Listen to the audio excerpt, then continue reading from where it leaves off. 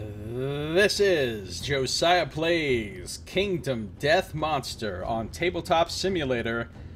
We are now starting Lantern Year 2 of our new Marrowhaven campaign, the People of the Skull variant. And we are going to go on a hunt. And we're going to hunt a level 1 White Lion. Which should be tougher. It will be tougher than the tutorial White Lion. So we go to Showdown Setups. Here's a nice piece of Kingdom Death art showing you what a scary place this is. Here's a white lion looking really weird. there was once a beast that wanted to feel how soft its fur was. Since it could not reach its own back, it killed many other creatures and spent time rubbing its paws over them. They say that when the monster finally killed a human, it fell in love with their soft hair, and its paws grew into a pair of fine human hands. That's not super weird at all. Alright, showdown setup. First, actually, I need to do the hunt setup.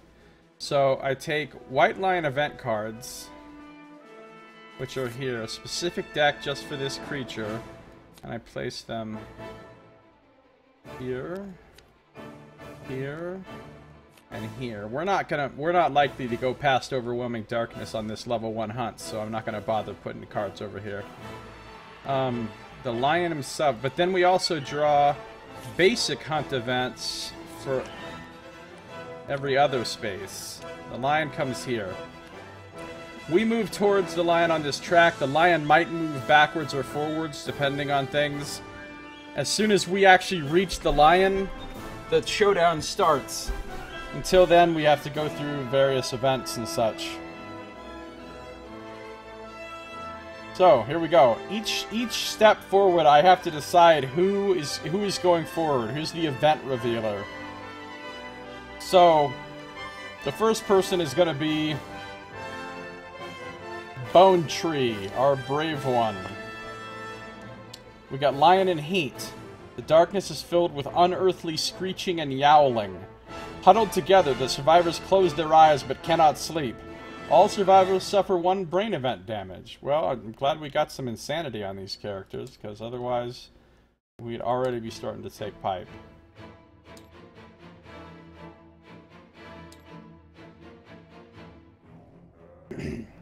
Alright, next will be Bone Grinder.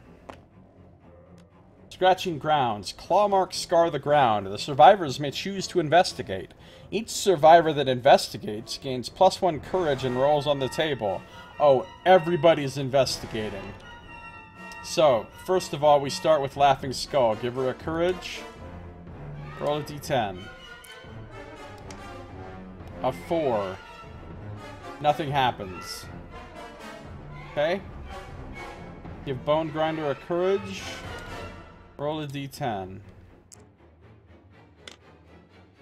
A three. He could take... Sifting through the rubble, a shifting stone crushes the survivor's hands. The survivor suffers one event though damage to the arms location. Or he could spend a survival. Um... I'll, I'll take the arm damage. Bone Tree, what's your investigation reveal?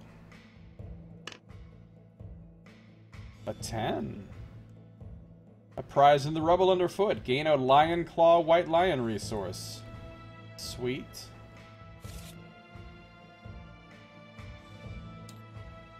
Lion Claw.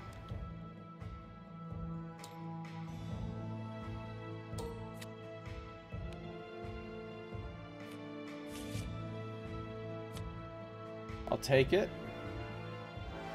And he gets plus one courage. These courage and understanding tracks are important. You get some fucking good abilities if you get those things maxed out. And there's only limited opportunities to raise those. Well, that's not really true. I guess there's kind of unlimited opportunities to raise them with certain things, but they're not they're not super easy to raise is my point. so anytime you get a chance to get courage or understanding, you want to take it. Ghost Skull. Gets an 8. If I raised it to a 9, I could get another Lion Claw. Lion Claw. Oh, it's a bone. We want that. Okay. Raise it to a 9. Let's get another fucking Lion Claw.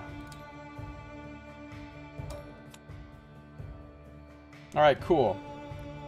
So we've explored all that. Moving forward, we go to a random hunt event. Now, these are the crazy events.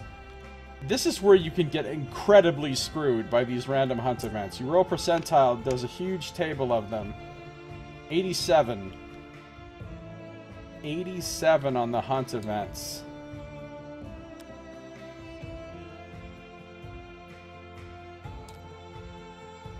Weeping Faces. Water flows from the eyes of the surrounding stone faces, gathering in a small pool. Any survivor may choose to consume from the pool and roll on the table below. Add plus 2 to the result if the survivor has 3 plus understanding. Insane survivors begin to weep uncontrollably. If any survivor is insane, roll again on the hunt event table before moving on the hunt board. Gain a speed token is nice. Alright, so who's insane? Not insane, not insane, not insane, not insane. Okay, we're all just barely not insane. Who wants to consume this shit? Suffer brain damage? Nothing happens. Heal injury levels. Or gain a speed token. I don't know. Seems kind of questionable.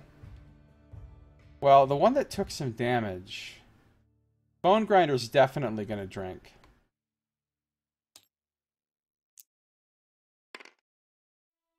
He got a 9, which means he actually gains a speed token. Now, a speed token only lasts for the next showdown. It's not a permanent increase to speed. It'll help, though. It'll certainly help with this fight. Thank goodness that the lions were making scandalous noises in the first step.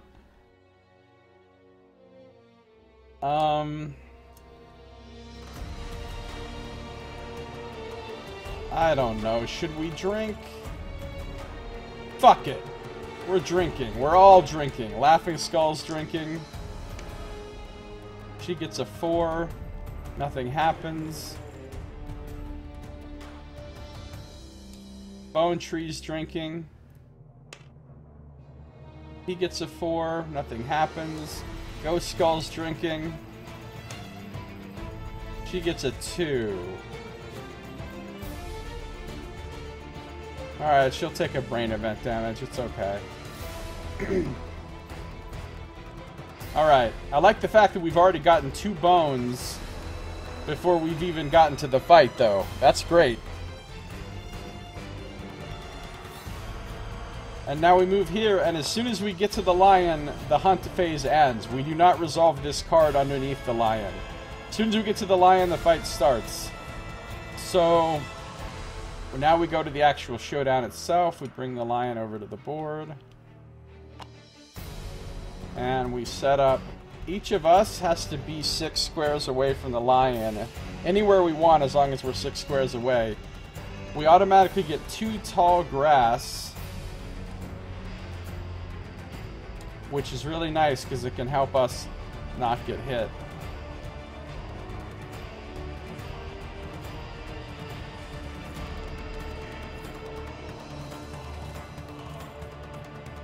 and two random terrain cards.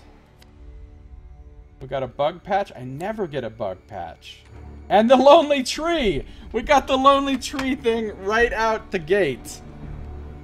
Oh, I'm, I'm gonna have to look up some lonely tree rules now. Alright, a bug patch. Oh, we need to pull those things out of here.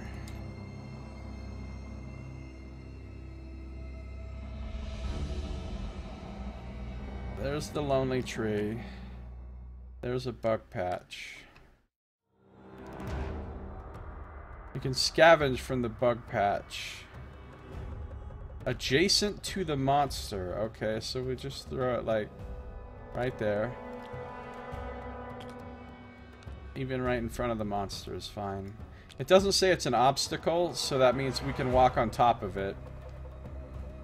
The Lonely Tree. Obstacle, monster impassable, indestructible. Okay, I'm gonna go to the Lonely Tree booklet, since the Lonely Tree has just come into play. There's the picture for the Lonely Tree cover. The Lonely Tree. If you can see the Lonely Tree for what it really is, it's probably too late. This carnivorous organism hypnotizes anything that comes near, luring prey with hallucinations of their innermost desires. Once they draw near, the hallucinations turn to ceaseless dreams, while the roots consume the victim in their sleep.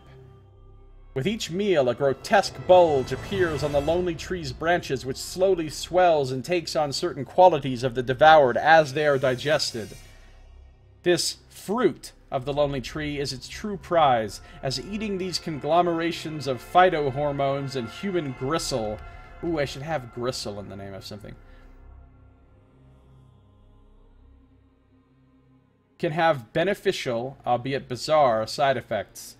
However, make sure to handle them gently while they are close to the tree, as the chemical volatility of the unripened morsels doubles as the lonely tree's primary form of self-defense. Alright, so we've got the... The Lonely Tree Terrain card grants any monster the Monster Fruit card. This card alters the monster's behavior during the showdown.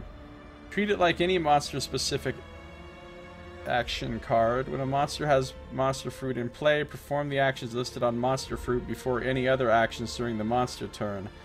Proceed to the rest of the monster turn normally. The Lonely Tree terrain has the Monster Impassable rule, which has all the characteristics of impassable terrain, but with the following addition. Monsters may not move through spaces occupied by Monster Impassable terrain. Monsters must move... Oh, we can kite the lion around the tree. Now, monsters must move around... Oh, we need to get some bone darts in our life. Monsters must move around monster impassable terrain tiles, if possible. If this is not possible, such as when the monster is instructed to move in a straight line, they instead end their movement in the space before the terrain tile. That could be really useful, actually.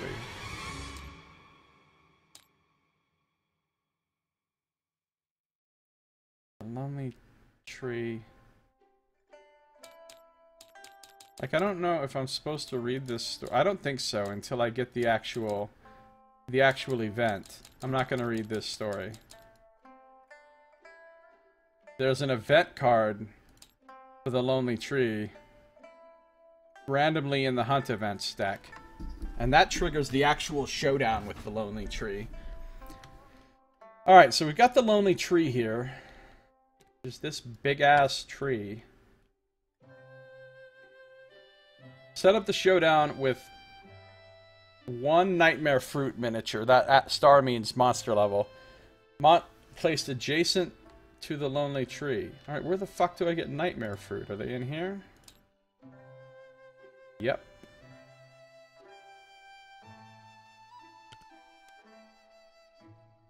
Wait, what?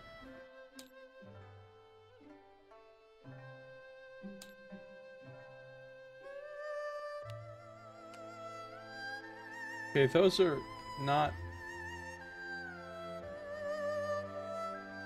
Lonely Tree.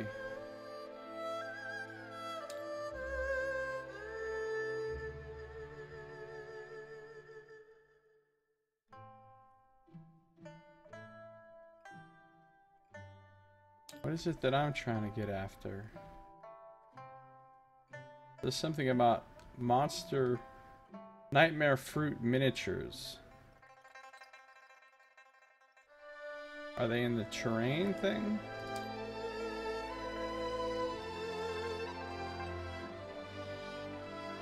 Nightmare tree. I just want to know how big these things were supposed to be.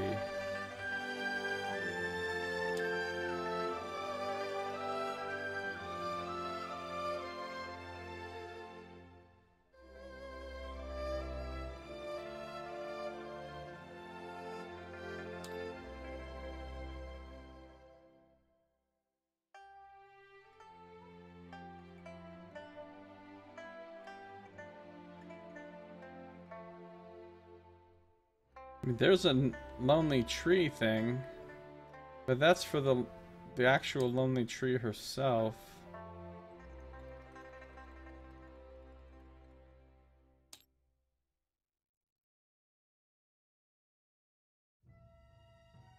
What's in here?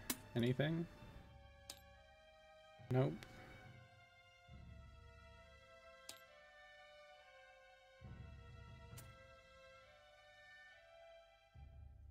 Up top of terrain tiles. Oh, good call, Knox. How did I not even see that? So I'm just adding one of those.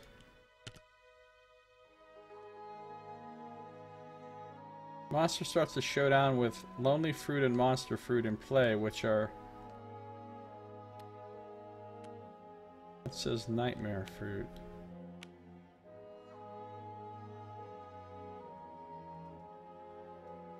If the survivors are victorious and any Nightmare Fruit miniatures remain on the showdown board, they gain the Nightmare Fruit Strange Resource.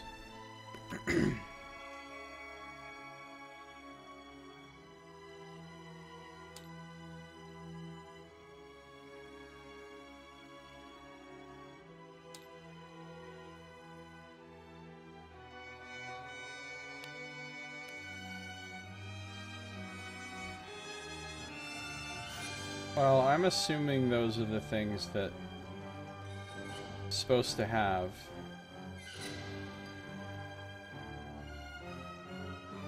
I wasn't expecting to get this so quickly.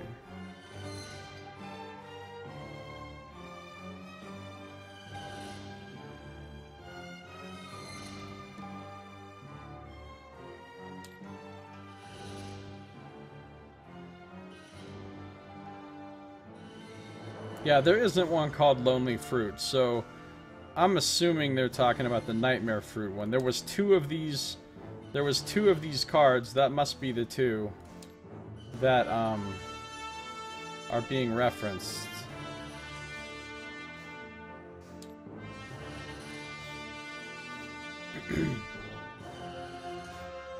so these start in play.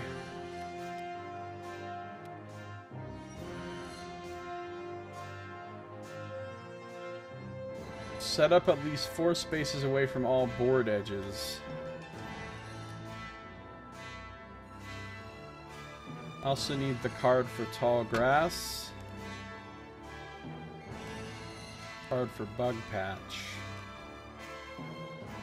So I can put it wherever I want, as long as it's four spaces away from all board edges. Interesting. Well, let's see what these things do. Monster fruit. Start of the monster's turn before performing any other actions. If it is within five spaces of a nightmare fruit miniature, it full moves towards it. Then if adjacent, it consumes the fruit, removes it from the board, and heals one wound. Fuck that. Or it gains a plus one damage to- Oh no. No. We can't have that. Nightmare Fruit miniatures are an impassable terrain that occupy one space. They have the following rules. Oh, you can walk up and do something to the fruit. Defuse the fruit! All fruit on the board explode. You fucking get completely rolled. This fruit explodes. You get completely fucking rolled. You can move the fruit. Or, or you can get one survival and remove the fruit. Return it to the tree. That's a good thing to roll but it's a 10 that you need. Well, there's only one fruit. But I definitely do not want the lion getting a fucking plus one damage token. We cannot have the lion wrecking us with extra damage through the whole fight. So... I want this fruit, this fucking... Where do we put the fruit thing? We can put the fruit wherever the hell we want, right? What happened? Why are these cards so small when I... Something weird is going on. Like, normally you blow these up and they... Oh, I didn't realize you could do that. Well, hello. Um... Placed adjacent to the tree. Alright, well, yeah, we're gonna make this as difficult as possible for the fucking lion to get to that fruit. So first of all, this fucking thing is gonna be as far into the corner as it can be. One, two, three, four. Actually, it's within, within four. This thing's gonna be back here. And...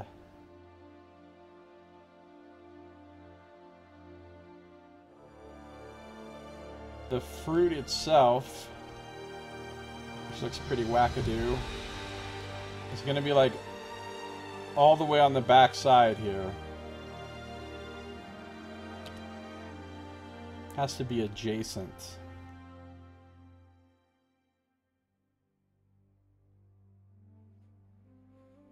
Diagonal doesn't count as adjacent. So, I don't want the lion anywhere going anywhere the fuck near that damn fruit. Does he have to have line of sight to the fruit? No, it doesn't say anything about line of sight, so apparently not. If it's within five spaces, I don't think he's within five, though. Yeah, okay, so unless he moves over here by the tree, he's not going to get within five spaces. So we should try to lure him down this way, just to make sure he doesn't go anywhere fucking near that, that fucking fruit. Plus, if the fruit remains on the board at the end, we get a resource. We get a Nightmare Fruit resource, which we could use for something. So, uh, we're gonna want to scavenge that bug patch. Now, where are we gonna put the tall grass? Well, the lion does get to go first, so we have to keep that in mind. He's gonna come at us. So, let's put our tank one, two, three, four, five, six.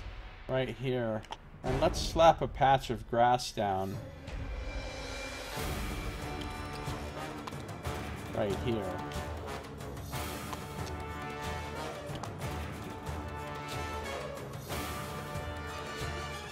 Actually, fuck that. Let's get further away from the tree. One, two, three, four, five, six. Put it right there.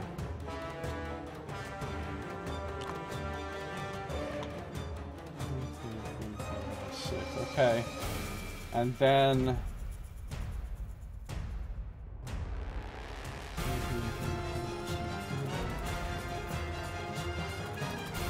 What if I put the grass like this?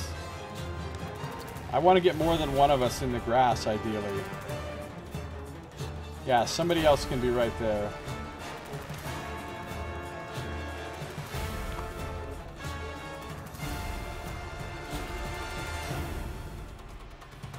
And then let's just um, do the same thing. Grass has to be four away from other grass.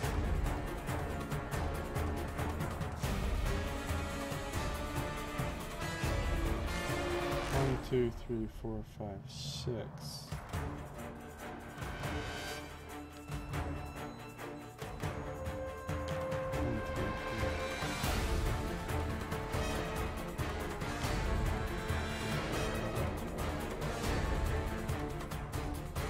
Alright, perfect.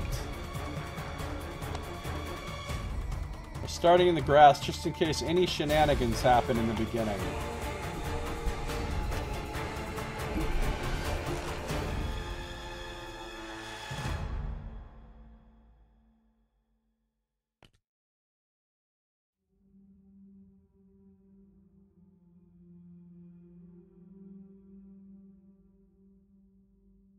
Alright, there we go.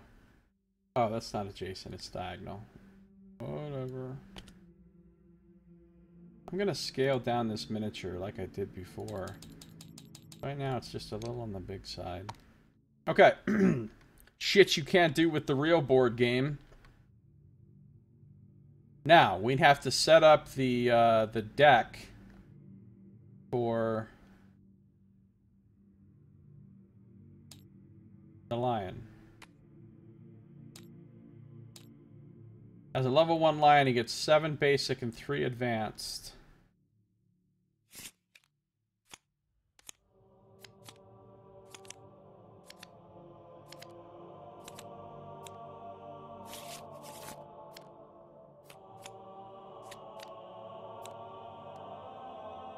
He only gets 10 cards as a level 1? Yeah, I guess so. He has a toughness of 8. He has no speed or damage tokens. Oh yeah, I'm so I'm so used to fighting the level 2 ones now on my other game. And like the level 1 one suddenly seems really easy. I mean, it'll be tougher than the one we fought in the um, tutorial, but...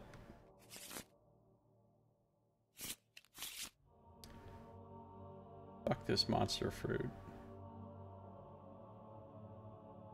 Alright, here we go. Lion goes first. So... Turns to face. He chooses any of us randomly. Not randomly. I choose who he chooses because we're all equidistant to him. Oh, I need to draw his AI card, actually. Size up. Random threat in field of view. Okay, so he is going to choose one of us randomly. One, two, three, four, five, six, seven, eight.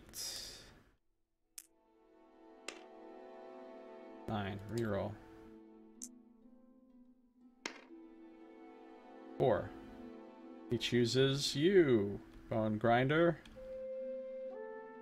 And he sizes you up. You are intimidated. Let's see if it works. It worked. One brain damage and knocked down.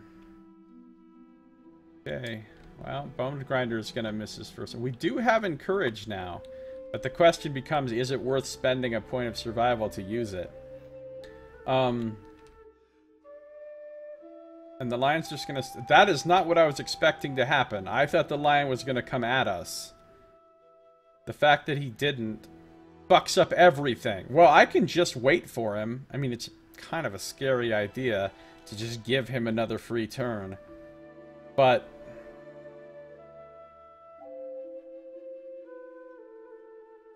Usually he attacks the closest person to him. kind of want to go after that bug patch, but I don't really want to...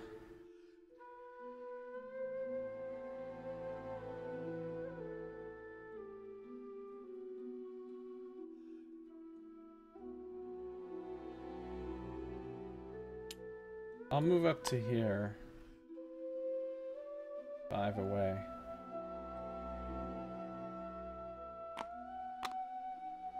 Fuck it, we're staying in the grass. He can come to us. Nobody's doing anything. Size up again? Are you fucking high? Motherfucker! You're the most asshole lion. He's like, nope, not coming over there. Ah, three, six, nine. I mean, three, six, nine. Nine. It's gonna be Ghost Skull. Roll a d10. A 7. She takes a brain damage and is knocked out. That's her last point of insanity, so... It's just fantastic. That's all he's gonna do. Listen, this time he has to come at us, right? He has to. He cannot have more than two size-up cards in his stupid deck, right? Alright, let's go. We're giving him another free turn. This is a terrible idea, but... Chomp. Oh, I hate Chomp. It always hits you in the head. Closest threat facing in range. Okay, that's gonna be that's going to be him.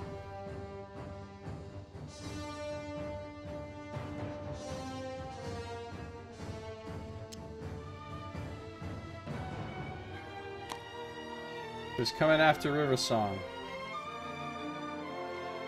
yes, it only has a one speed though, so he gets one die, accuracy of two, but check this shit out. He has a three evasion, and he's in the grass. That's three, four, five, six, seven. The lion gets one chance to roll a 7 or higher. That's not bad. I like those odds. Yes! And he rolled a 1 anyway. So nothing happens. Nothing happens. See? My fucking tactics worked out. So now... Riverstong is going to keep being the tank.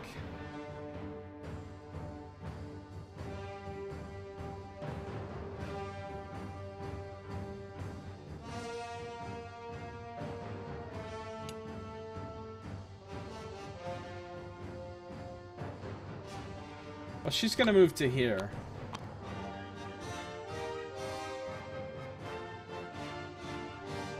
She's gonna move to here and... I mean, not River Song. Why did I think it was River Song? Because he's the green guy. Bone Tree, I mean. Yeah, Bone Tree. What's up, Darnaz? How you doing?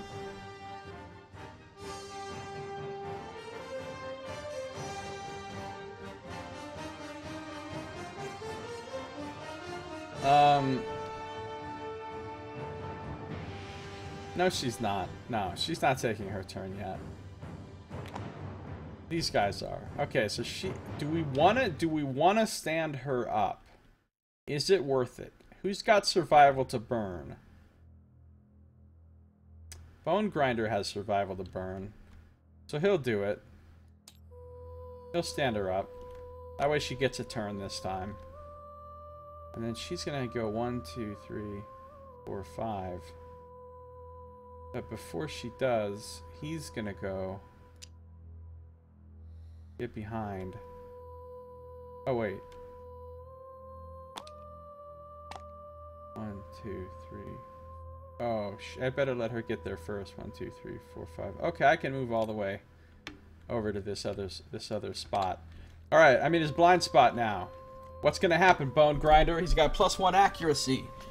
Watch me a bit before you go to sleep. Sounds good. Glad you're here. He's got plus one accuracy. He's got one from the being in the blind spot. That means he only needs to roll sixes. And he's got an incredible two speed right now. So he gets to roll four fucking dice.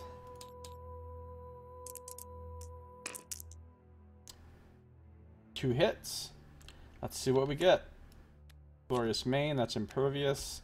And the Beast Temple, where if you don't wound, he wrecks you. That's good. That's good. Welp, let's go for Glorious Mane first. All I'm doing right now is to roll to see if I get a crit because I do have a total of two luck right now, so I can crit on an 8 or higher. Oh, I did crit. You're right. Yes, I did, because he had three. He had three. I did take off the survival for encourage. Uh, he, he just crit. Now, that doesn't wound the monster, because it's an impervious location. But it does give me some shit. I gain the Shimmering Mane White Lion resource, so I, he just ran over there, and again, they're not even using weapons. With his bare hands, he just ran over there and ripped the lion's mane off. That's pretty hardcore. It's pretty fucking hardcore. And, oh, if he's insane, he gets the strength token. Damn it, he's not insane anymore. So he does not get a strength token. Alright, let's see if he can wound the other spot.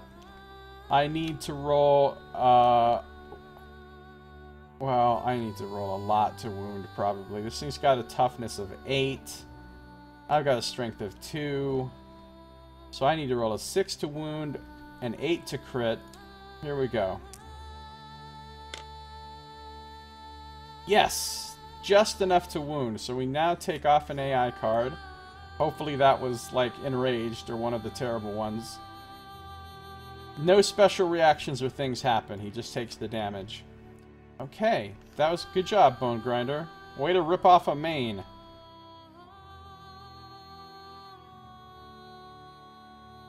So now she's gonna go. A quick word of encouragement has lifted her to her feet rapidly. Ghost Skull running in. Um, she's got a one speed, so she gets to roll three dice with this, and she needs sixes to hit as well.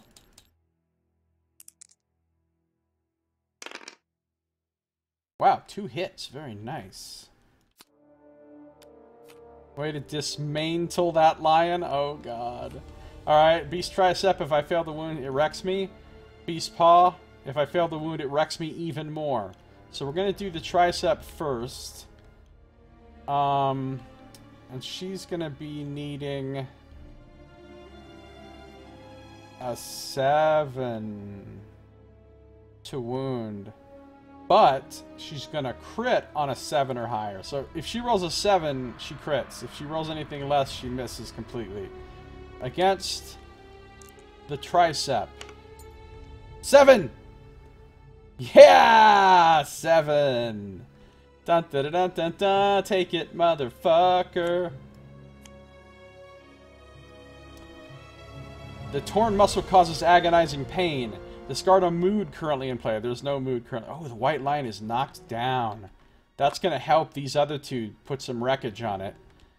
Because when it's knocked down, all of its reactions are canceled, and you hit on a 3 or better. Oh, God, knockdown is so good. And that means I don't have to worry about the reaction on this card anymore, because it doesn't get reactions because it's knocked down. So she still needs a 7, though, to wound. Which actually to crit. And a 8! Two crits in a row! Somebody's fucking shit up. She's like, oh, you want to rip off a fucking mane? That's cool. I'll rip off its foot. Haha, I see your mane and I raise you a foot. Beast Paw. Your attack destroys the White Lion's foot. It loses its leverage. It gains a minus one movement token, and it can't grab for the rest of the fight, which is awesome. Minus one movement and a Lion Claw, and she got another Lion Claw. Okay, minus one movement for the lion.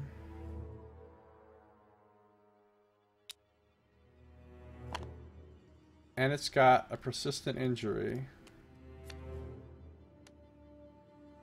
And she gains a lion claw.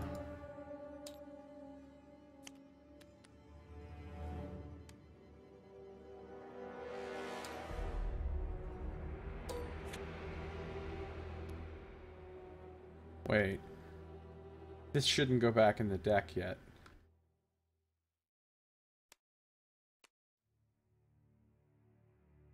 got two lion claws now. Okay, that well that was beautiful. Well done, Ghost Skull. Okay, well what happens next is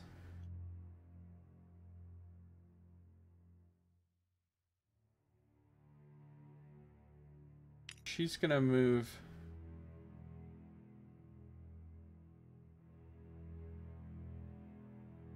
to here. She needs threes to knock down. She has a speed of one. Why does she have a speed of one? Oh, the bonus for naming herself a skull. Okay. She's gonna roll three dice and she needs a three to hit.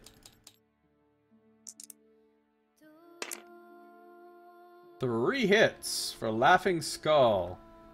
Tearing it the fuck up. This is going way better than the beginning parts of my first campaign. Way better. We were getting our asses kicked by these lions. Alright, so all reactions are canceled, so we don't have to worry about this bullshit. Um, so all I need to do is see about some damage. She has no strength. She has no luck. So that means she's got to roll a fucking 8 to wound. Okay, going from left to right. Six. A three. A four. She fails to wound on all, which normally would have screwed her over. But because it's prone, nothing bad happens.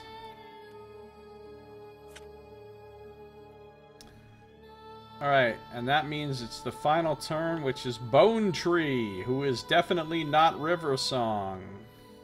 Bone Tree is gonna lay into this motherfucker with his hands. And he needs threes to hit, and he gets three attacks.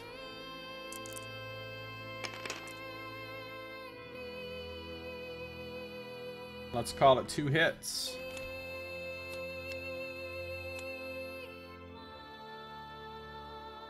But neither of these have a reaction. So let's go soft belly. He's got a strength of one. He needs a seven to wound. A nine to crit. An eight to crit. Seven to wound, eight to crit.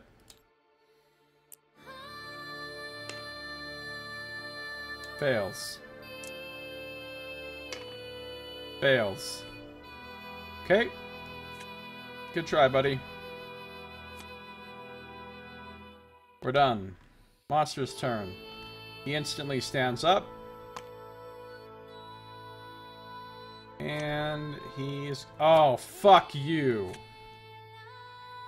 Hate Enraged. When this comes into play, draw an AI card. So he gets to attack and do this. Now he gets a damage token. So now he's going to be hitting like twice as hard for the rest of the fight. Which can be really brutal on these low-level characters. Oh no, I put the wrong side down. And it doesn't go away until somebody's dismembered or killed. This is why in my other group I had that lion harp that I carried around, because if you if you have the lion harp, you can play it and it'll get rid of a mood like this.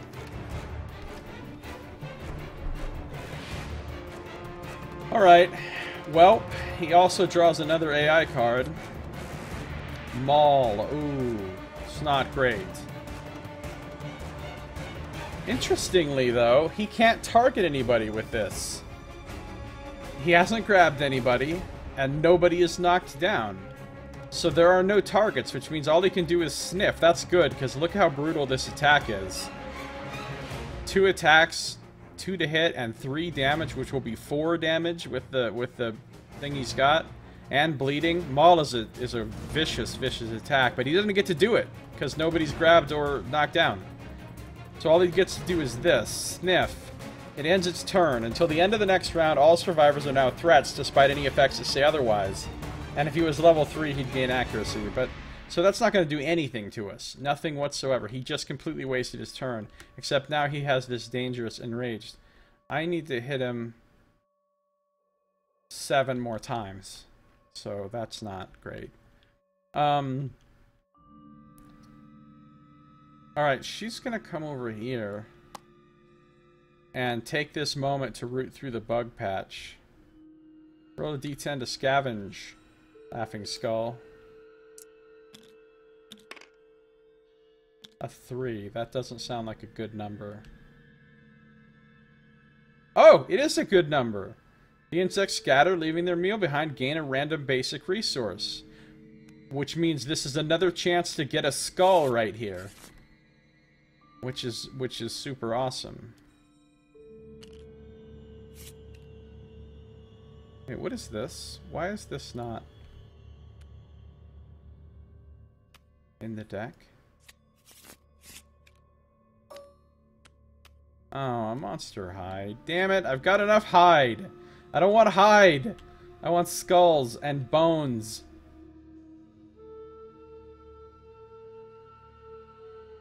It's fine. It's free. I'll take it. Um, that's all she can do on her turn. Let's talk about the people in the back. Um, I'm feeling Ghost Skull. Ghost Skull was tearing it up last time.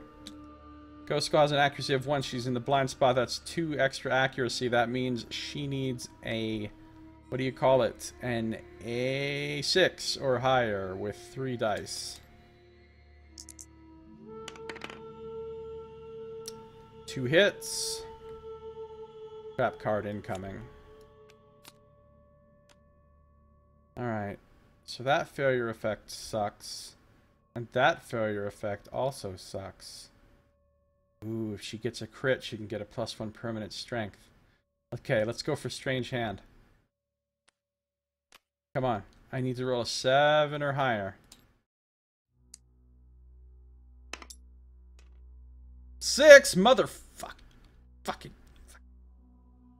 I don't think that wounds either. It doesn't. So, guess what? Instead of getting a cool thing, I get fucking beat in the face. Instinctively striking back, the white lion's oddly human hand darts forward. Perform a basic action targeting the attacker, so he spins around. And he's gonna... Oh, and he's enraged. This is gonna be lovely. Alright. So, he's got two attacks. What's your evasion looking like? It's a one. He needs threes.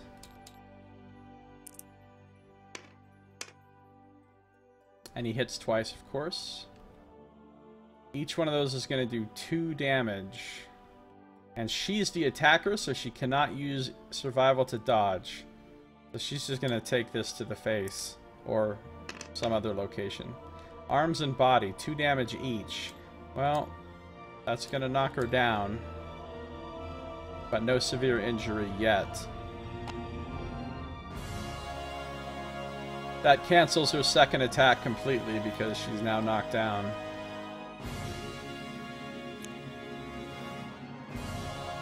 Nice try, Ghost Skull, but you massively failed. All you had to do was roll a 7, lady.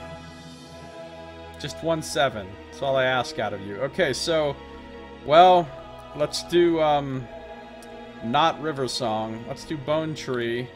Now, now that he's in the blind spot. And Stout with some sixes to hit, three dice.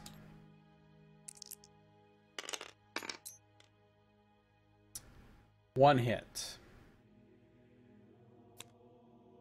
Against the fuzzy groin. Oh, this would be nice to get a crit on, because if you crit on the fuzzy groin, the monster will attack you and only you for the duration of the entire combat. It's so mad because you fucking ripped its testes off that it, you become its only target forever. it's pretty funny. I've had that happen. Some, it's not always good. But it would be great for it to happen to Bone Tree since he's our tank. So, to wound, I require a 7. To crit, I require an 8. A 9! Yes! Bone Tree rips off the lion. He's like, hey, you ripped off a mane and you ripped off a paw? That's cool. I'm gonna rip off the thing's balls. We are ripping a lot of pieces off this lion. This lion's gotta be like, this is fucking bullshit. These guys don't even have weapons. And they're not even, they're naked. A bunch of butt-naked humans with nothing but their hands are fucking tearing me to pieces. What is this shit?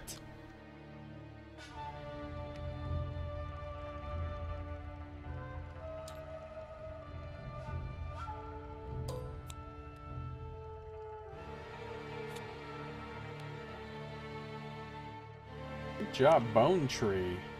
Alright. Uh, your attack destroys the White Lion's healthy genitals. The monster is Oh, shit! It gains a plus one damage token, I forgot. There's a downside to this. So now it's doing a pile of damage. Uh, the attacker permanently gains the priority targeted token. The White Lion will attack them until the attacker is dead or the White Lion is dead. No exceptions. So Bone Tree is officially the tank now because nobody else is going to get attacked except for him. And it's a persistent injury. means we keep it in play.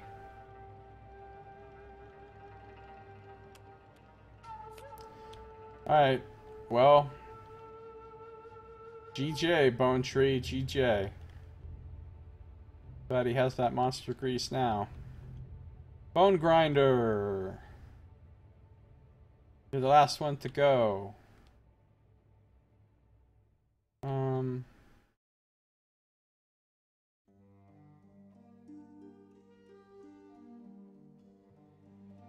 can't get to the blind spot. He's just going to attack from the front. Actually, no. He'll move to the flank.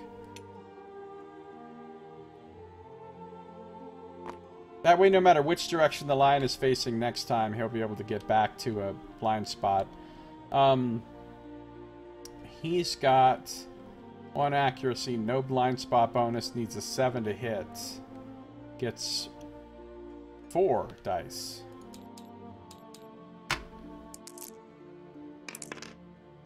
Ooh, two perfect hits. Ah, there's the trap card. I was waiting for you, clever ploy. Okay. Basic action targeting the attacker. By the way, specific target things like this do override the priority target thing.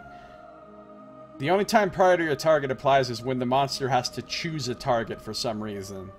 When it specifically targets an attacker, it, it then that doesn't the priority target doesn't matter. Um, so Lion turns to face. And, well, it's got a lot of damage tokens right now. What's his his evasion is one, so the lion needs threes. Come on, roll low. Or roll super high, I guess. That's also an option. Well, that's two hits, each of which is going to do a beefy three points of damage.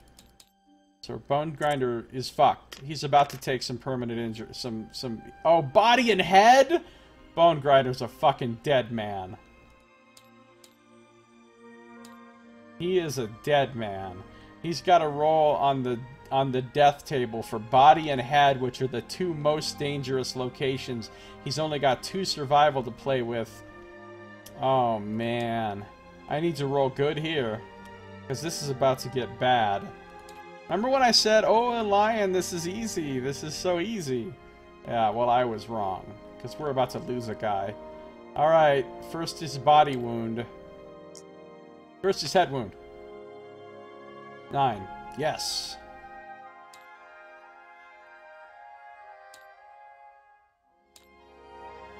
Shattered jaw. You drink your meat through a straw. You can no longer consume or be affected by events requiring you to consume.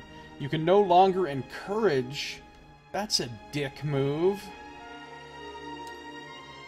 Alright. Injury is permanent and can be recorded once, gain one bleeding token. Alright. Could have been worse.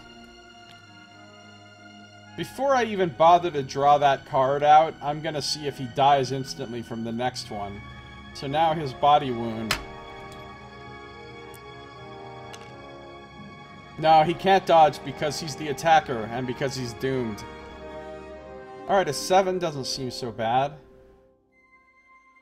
Actually, no, I already chose not to. A ruptured spleen. Skip the next hunt. A vicious body blow. Bring two bleeding tokens. What are my other options here? I've got two survival. I don't want to be disemboweled. That sounds bad. Broken rib is bad. Collapsed lung isn't bad, though. If I dare to spend all of his survival. Ooh. I dare. I'm doing it. I'm doing it. I'm getting him a fucking collapsed lung. Minus one movement token and a bleeding token.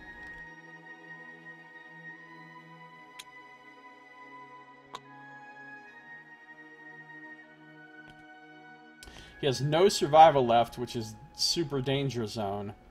Um, and he now has the permanent injury.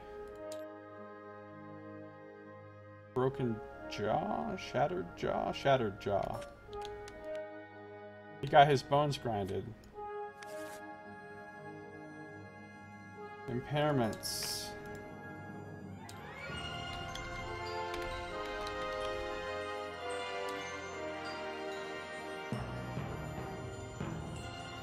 No longer encouraged sucks, but otherwise that's not a horribly debilitating injury. Well, that's the end of our turn. Kind of ended on a sour note. But he's not going to be getting attacked, except for as reactions to his own attacks. So he will not be getting... So he won't be able to spend survival anyway. So really it doesn't matter if he doesn't have any survival right now. Because on the monster's turn, all it's going to do is attack him over and over. Alright, uh, two damage tokens is a bad day when we don't have any armor. Reshuffle the hit location deck. Let's see what he gets now. Grasp. Oh, but he can't grab because his fucking paw has been ripped off. Closest knockdown survivor. Actually, he is knocked down. Oh, but oh, but you don't. You don't do the pick target thing. That's what the priority target thing says. You completely skip the entire pick target phase and always pick always pick him. So move and attack. Speed of 1. Accuracy is 2, but he needs a 7 to hit Bone Tree.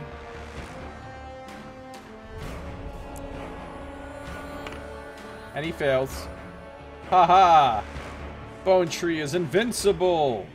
Bone Tree dies in 5.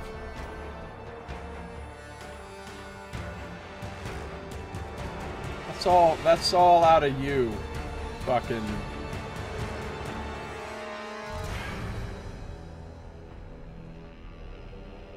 That's all out of you. Lion. I ain't lying. Well, we need to hit him six more times to kill him before he manages to murder his turn ends. He was... No, they're both get up because they weren't knocked down on the monster's turn. Alright, it's our turn again. I'm real nervous about attacking with him. Real nervous.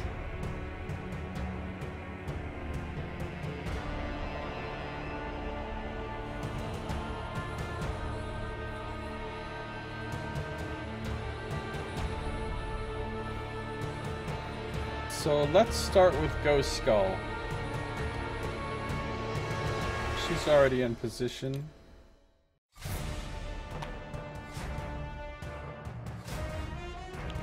Alright. She needs sixes to hit. Three dice.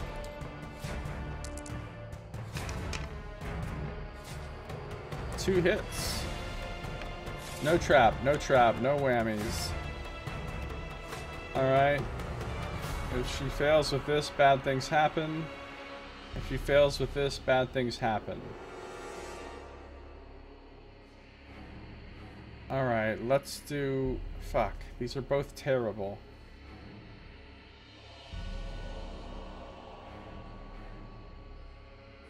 Let's try Beast Chest first. Beast's chest. She needs seven to wound and crit. Fails. Fuck. Full move monster forward in a straight line. Any survivors passed over suffer grab, except they can't suffer grab because the thing's thing has been ripped off. And his movement currently is a 5.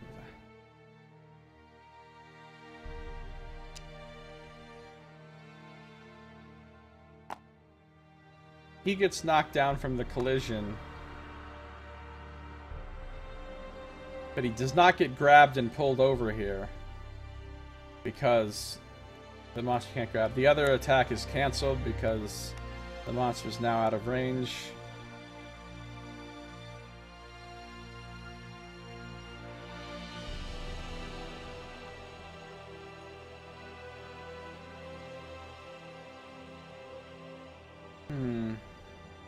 We know it's going to turn around and come back here after him. So we want to stay out of its way.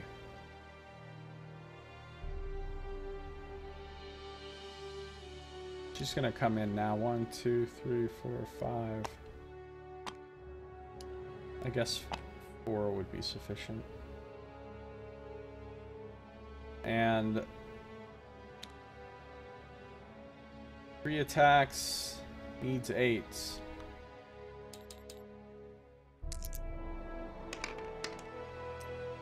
That is a bunch of not eights. Alright. I'm scared to send Bone Grinder in, because if he gets a reaction attack, he could be so fucking dead.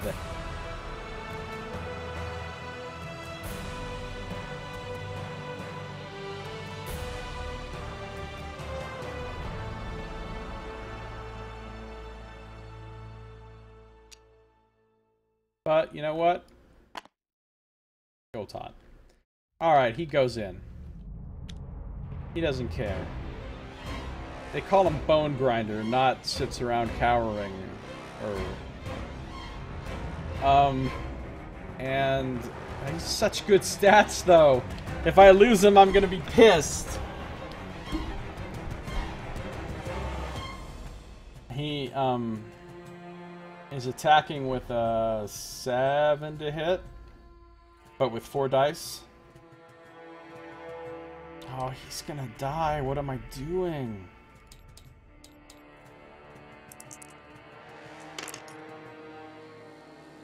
Only one hit. Well, if he fails to wound here, he's about to fucking take it. He's about to fucking take it.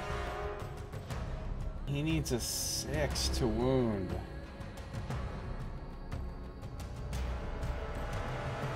Yeah, he needs a six. 50-50 chance. No! It rolled off the- Why? Why would you roll off that eight? Damn it! Alright, well, he doesn't wound and he gets wrecked in the face. First he suffers a brain damage. Out of insanity. Then he gets a fucking basic action on him again. Oh no, this is gonna be really bad. He could super be dead right here. Uh, alright, it gets 2 speed. It needs to roll 3s to hit him. Come on. Low, super low rolls. Ludicrously low rolls. Those are not ludicrously low. Alright, hit locations. Fuck my life. This thing is doing 3 damage with each hit. Waist and body. God damn it, body! I mean, the... Oh, well, even the waist is gonna have... We're gonna have to roll twice on the fucking table. He has no survival, so he's really got a good chance of being dead here. Let's roll the body first. Come on, high roll. High. High roll. Seven. Might not be too terrible. A ruptured spleen. Vicious body blow. Skip the next hunt. Gain two bleeding tokens. Vicious body blow. Ooh, he's... Oh, no. If he gains one more bleeding token, he's dead. Oh, no.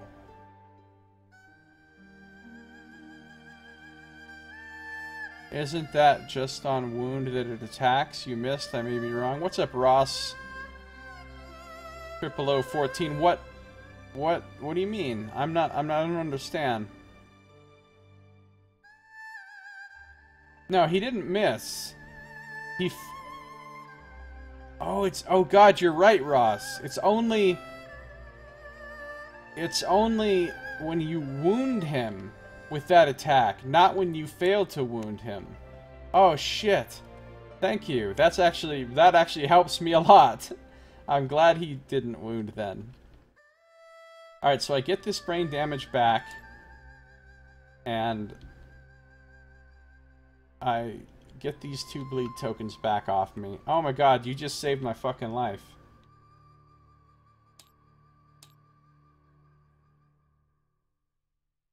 Okay. Whew. That was awesome. It's kind of comments I like to see. Fixing my fucking mistakes. Alright. So it does not actually turn around. Face him. They didn't wound. Alright. Um... Well, Bone Tree is knocked down and can't do anything this round. He'll just stay where he is.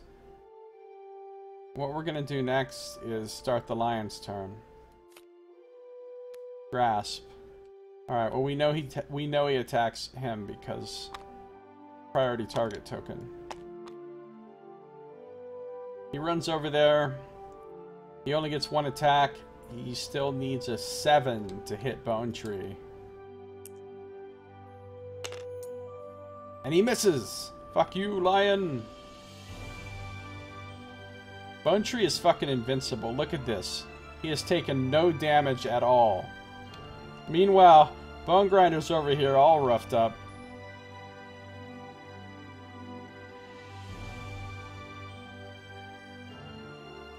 That's it. Lion's turn is over. Our turn again.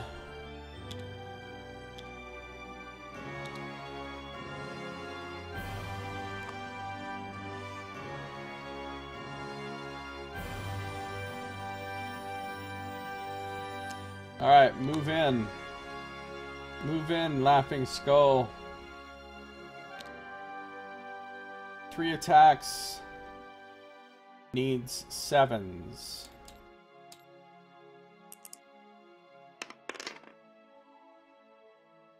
Two hits.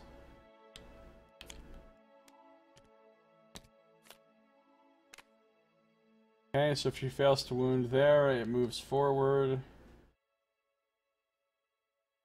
If she wounds, attack against the priority target token, but she can't. Because this critical thing means that nobody else can gain the pr priority token target. Alright, so she's going to do Beast's Flank first. Looks like she needs a 8 to wound, 9 to crit. Eight fucking wounded. Like a boss.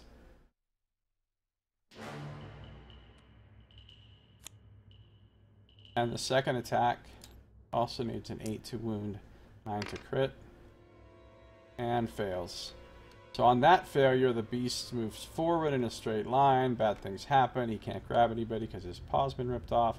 But he can knock some people down, sadly. Oh, she gets the big knockback because he landed on her. He gets knocked down. She gets pushed back five.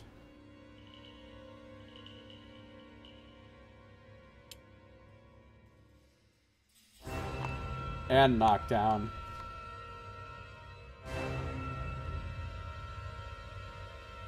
So, way to go.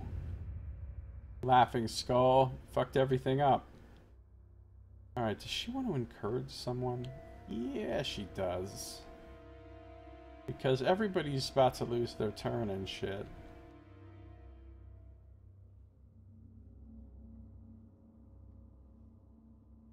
He wants to encourage Ghost Skull.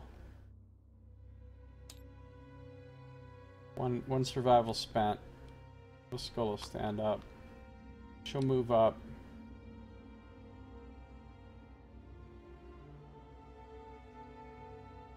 She's gonna, gonna move to here and be kind of staged in that area. Bone Grinder is not going in for another fucking attack at this point. At least not unless he's standing in the grass or something, because he's just in too, too rough a shape.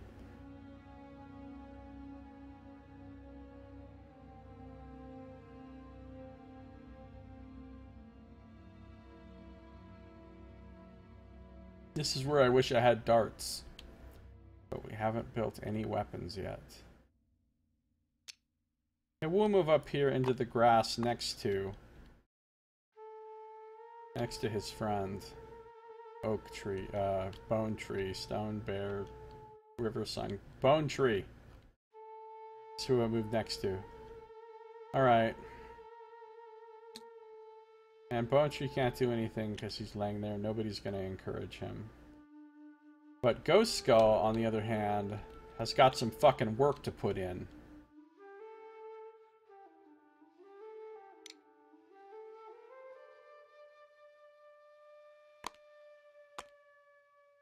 She's going to come put in some work.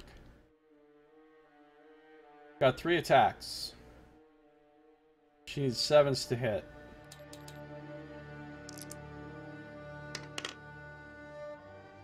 He performs no hits. That's the end of our turn. Lion's turn. Size up. Well, we know who that's going to be against.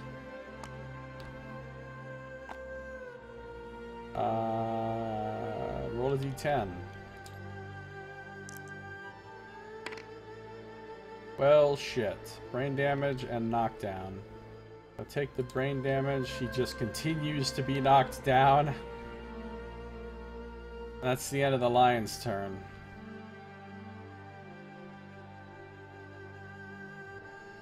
She's moving in to position behind. She needs sevens to hit. Three attacks. Three hits? Holy shit, Laughing Skull. She's gonna get herself into trouble. Clever ploy, the very first card I draw. What did I just say? Alright. Well, the lion spins around and it prepares to go into wreck mode. Her evasion is not anything. So it just needs to roll twos on two dice. Two hits. Well, she's in trouble. She's taking two three pieces coming in and she has no armor.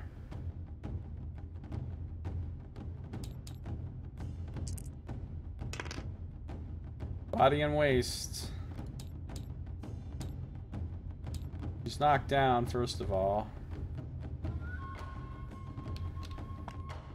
Second of all, she's got to roll some times on the table of badness. Let's roll the body first.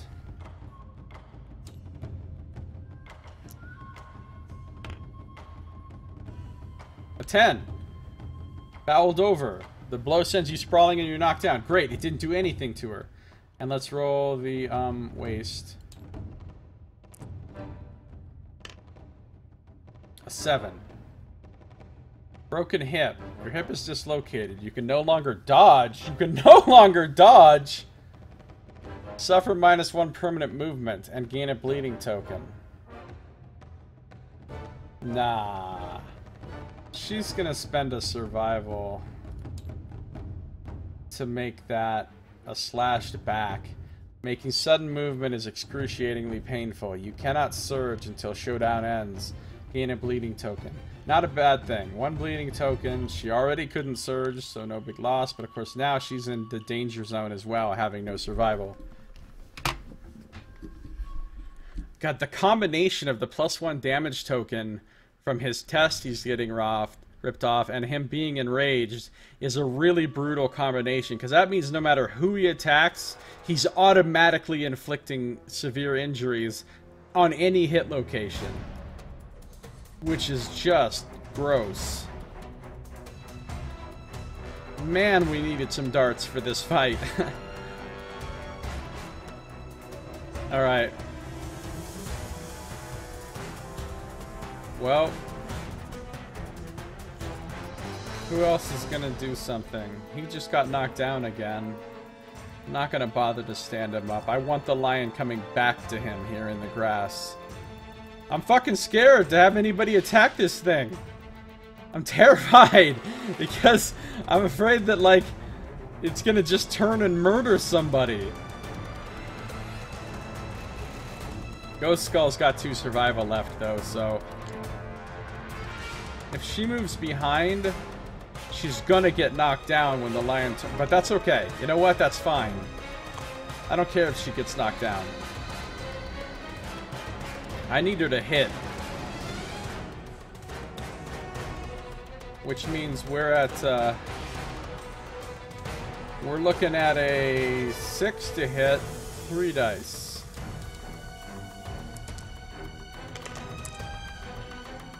One hit. Oh, clever ploy means we reshuffle this.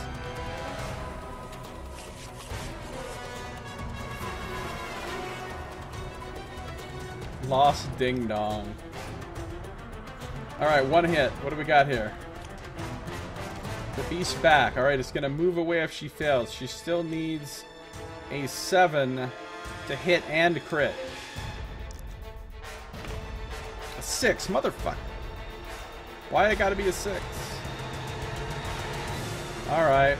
Well, it's not going to grab anybody, so this isn't really a big deal. It's just inconvenient.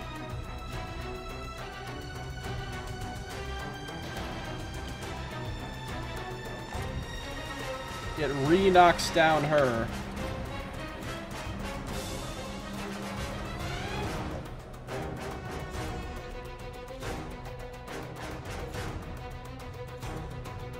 Bone Tree is knocked down, and Bone Grinder is fucking scurred.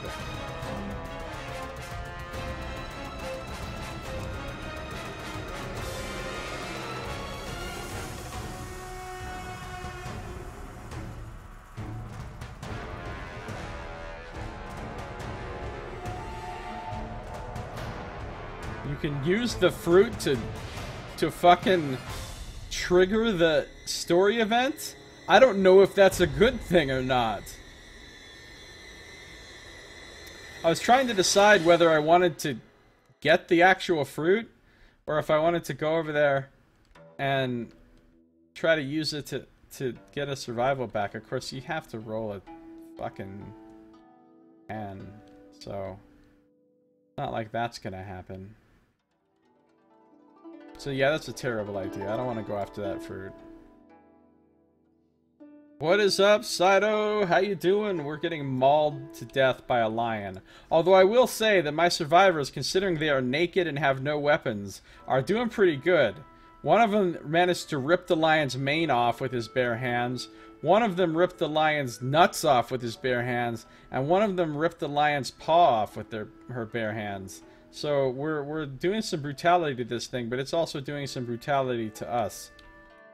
All right, um Alright, I don't want Bone Grinder to go attack again. I don't want to lose him. I don't want to lose him at this early stage, and he's in too much danger if he attacks. With no survival to protect him. So for now, he's just going to come over here and chill in this grass. And be scurred. Apparently his name is actually Bone Cowerer. And of course, Bone Tree can't do anything because... Fifty Shades of Rain then? He can't do anything because he's knocked down. Okay, it's the lion's turn. The lion is going to maul. That's not good. That does a lot of damage. But it has to go at it has to go after um Bone Tree, who might be too far away for it. One, two, three, four, five. And it has a minus one movement token, so it can only get this far, and it doesn't knock down um, Ghost Skull. Okay, cool. And that's all it does. If you if it can't get to its target, it just moves and does nothing. So that was actually a great turn for us. Still have nightmares about Rain scrotal mauling. oh god. That was pretty vicious. The lion's dead. What are we gonna do? Its turn ends, so actually everybody who was knocked down gets to stand up now. Too scared to attack. Not too scared. Wants to stay in the grass so that he can tank in the tall grass. Also not too scared. So she's gonna come around first. And she's gonna light this fucker up. And by that I mean miss a whole bunch. Because she needs sixes to hit, she gets three dice. One hit. Got him in the elbow, so if she fails to wound, it's going to full move forward, which is a pain, but not life-ending. So we need to try to wound. She needs a 7 to wound and crit. An 8! Yes! Critical hit, motherfucker! She's put out a lot of crits this fight. Um, he takes a wound. He's lost another AI card. He's only got 3 remaining. So 4 hits and he's dead four wounds and he's dead, actually. Um, the reaction is cancelled because it's a crit. The monster howls in pain as the blow breaks its elbow with a sickening crunch. Non-deaf survivors gain plus 3 insanity and may stand if they are knocked down. That's rad. Plus 3 insanity for everybody is fantastic. We all just went insane. We all just went insane, y'all. They weren't insane before. She breaks the lion's elbow and everybody goes fucking nuts.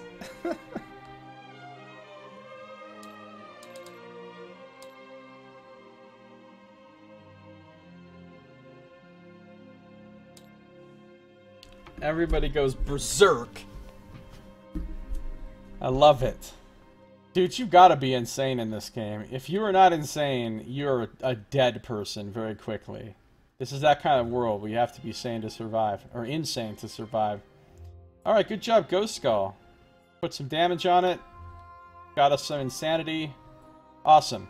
Uh, up next, we'll do Laughing Skull, who, in case you're wondering, all my characters are named Bone something or Skull something because I'm when playing the People of the Skull campaign, where my my settlement of survivors worships skulls is like the ultimate thing, and everybody has bone or skull in their name.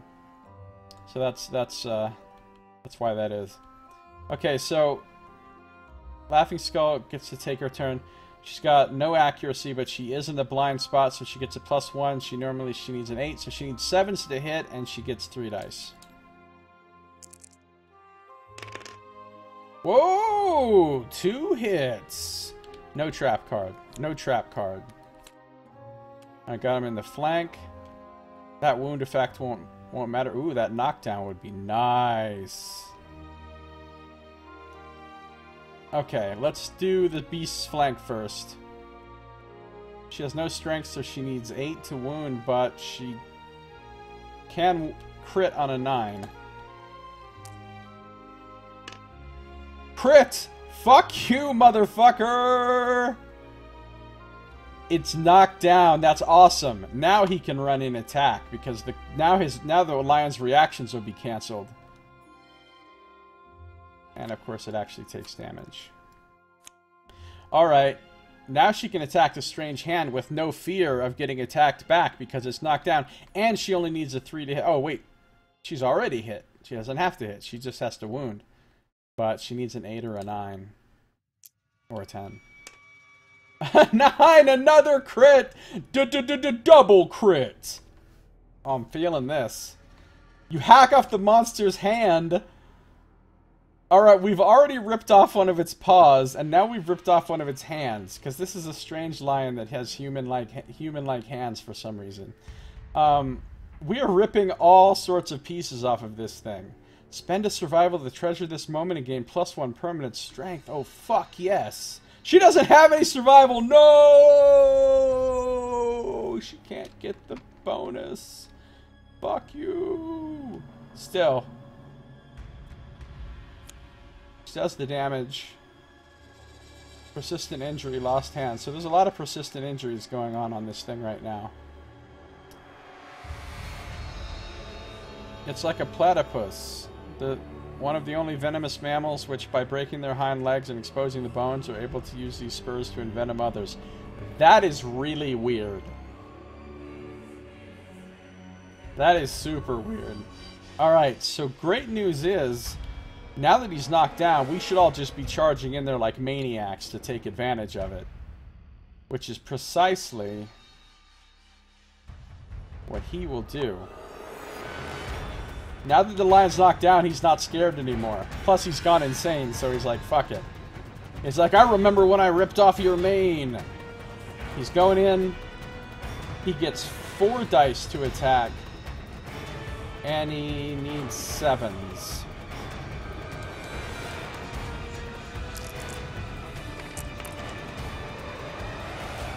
Got two hits.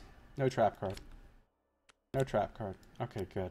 We get to ignore these failure reactions completely. So let's do Beast's Maw first, and then Beast's Ear. And let's talk about some needing six to hit. Nine to wound. Eight to wound. Failed. Uh, fuck yes, another crit right now because he's got plus one luck and he gets plus one luck with fist and tooth. So that's another fucking crit in the beast's ear. The force of the blow damages the white lion's ear. It is now partially deaf. It gains a minus one accuracy token. That is fantastic. Well, this doesn't count, Saito, because this isn't a video game. This is a this is a board game that I'm playing using Tabletop Simulator. So it's like, it's not. I'm not really like doing a video game playthrough. You know what I'm saying? It, it's uh. Oh, hey, guess what? One more hit and the lion's dead. All right, I'm feeling good. Put that on there. Give him a minus one to hit. All right, you know what? Bone Tree, go in there and finish this shit. The lion is still knocked down. All I need is threes to hit because he's knocked down. Alright, three hits. No trap card. No trap card. No, motherfucker! Alright, well, all those hits are cancelled. and he just moved out of the grass. So he's going to be easier to hit now. But still, he's got amazing evasion. Alright. So the lion is going to attack him with two dice. He needs twos to hit, three, four, fives to hit, sixes to hit because of the minus accuracy. So he needs sixes to hit. One hit. Alright, Bone Tree's gonna take it.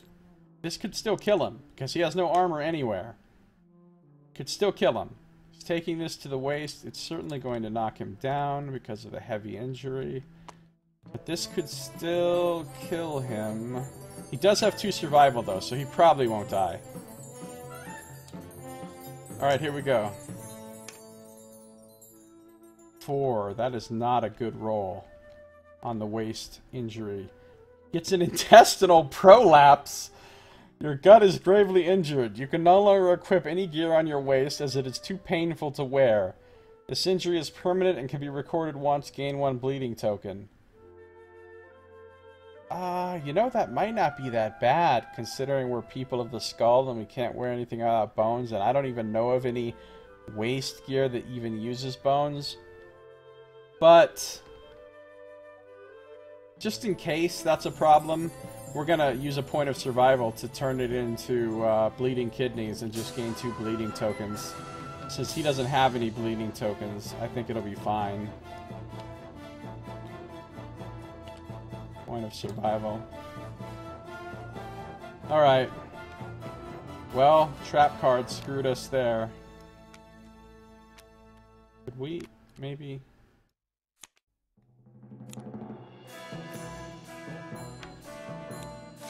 We reshuffle the hit location stack after that. Yeah, because it's a trap card. The first thing, the thing it says on the trap card, if you were prone, if the monster is prone, he instantly stands up. It cancels his knockdownness if he draws the trap card.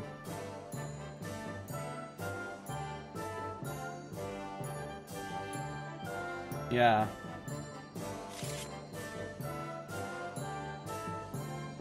Yeah, there's a lot of brutal... Every tart in this fucking game can kill you. No matter what you're doing. If you want to have two of your survivors have a baby, you've got to roll on a chart. And, like, they can die from having a baby.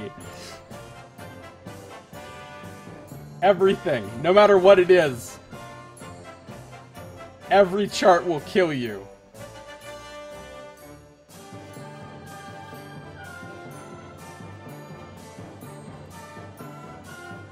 Alright.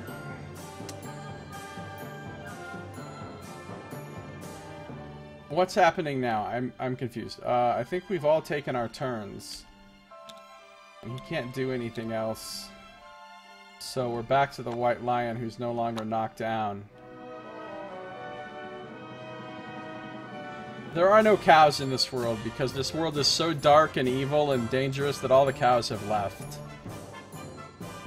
Oh, he has no AI cards. Great. All he can do is basic action. He has to target... He has to target, um... Bone Tree, because Bone Tree ripped off his nuts. So he's going for that.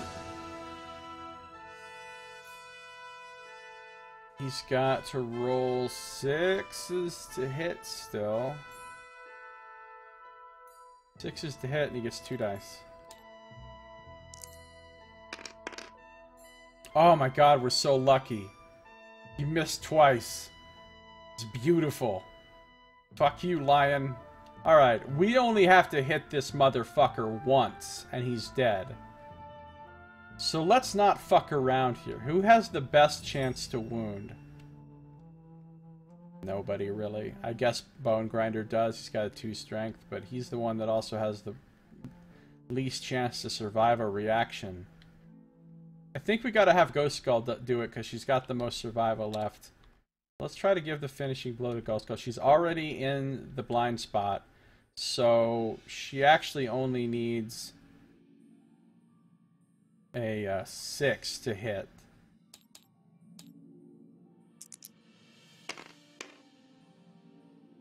Wow. 666. Triple hits. Okay, check this out. No fucking trap cards. Alright, cool. Alright, this one has no horrible reaction on the failure, so we'll go after the Beast Femur first. Remembering that she needs a 7 to wound, but she also needs a 7 to crit. Fuck you! It's over. We win. Game's over. Victory. Also, you bruise the White Lion's femur, crippling its graceful movement. It gains a minus one movement token, and I gain an extra resource. I just ripped another piece off this thing.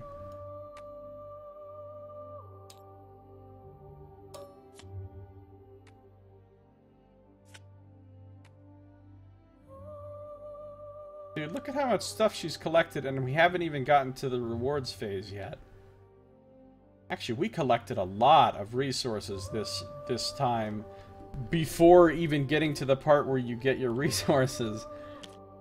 Alright, awesome. She annihilates that motherfucker. I have never, in all of the times I've hunted white lions on my other game, which is a lot, I have never ripped this many pieces off of a white lion in one fight. And this is with fucking nobody using any weapons. We ripped an incredible amount of pieces off of this lion. Oh, and we get the nightmare fruit. That's right. I'm so glad I put the nightmare tree way over here and we didn't have to deal with it. And, like, the lion didn't go over there and gain another strength token from... Alright. Enraged. Goes back onto the advanced AI deck.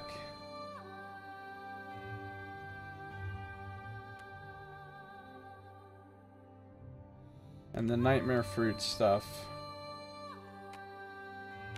I don't even know where to put these cards.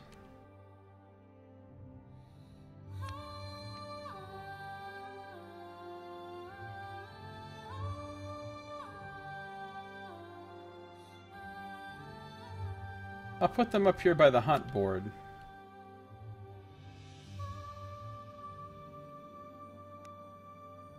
Alright, let's divide out. Let's get his advanced cards out of here so we can rebuild the decks for the next lion fight. I'm not going to hunt a lion next time, though. I don't think. I think I'm going to hunt the Gorm.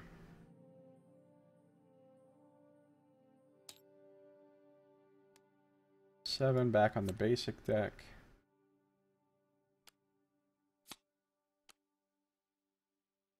And we shuffle all these.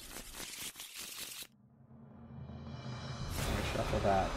I don't think I'm gonna... Okay, and then all of these things go away.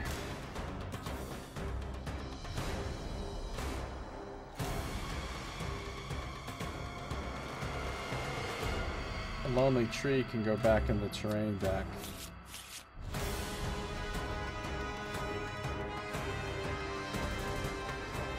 Tall grass can go back in the terrain back. Tall grass tiles can come over here. The lion can move back over by the hunt board. My people can come down here and get the fuck out of the way.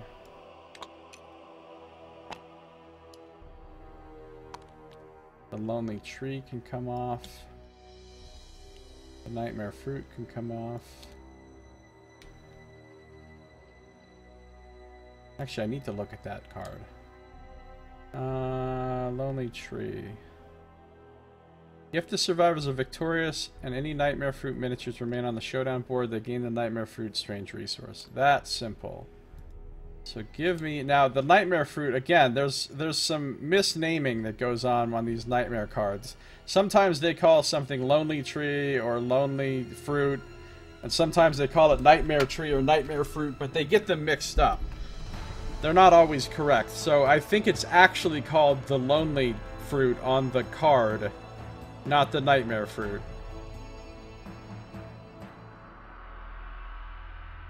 Fuck is it? Here it is. So we got a Lonely Fruit.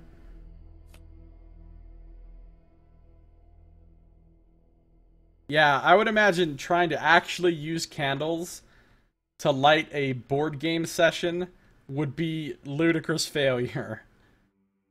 All right, let's draw. Let's let's go to our aftermath.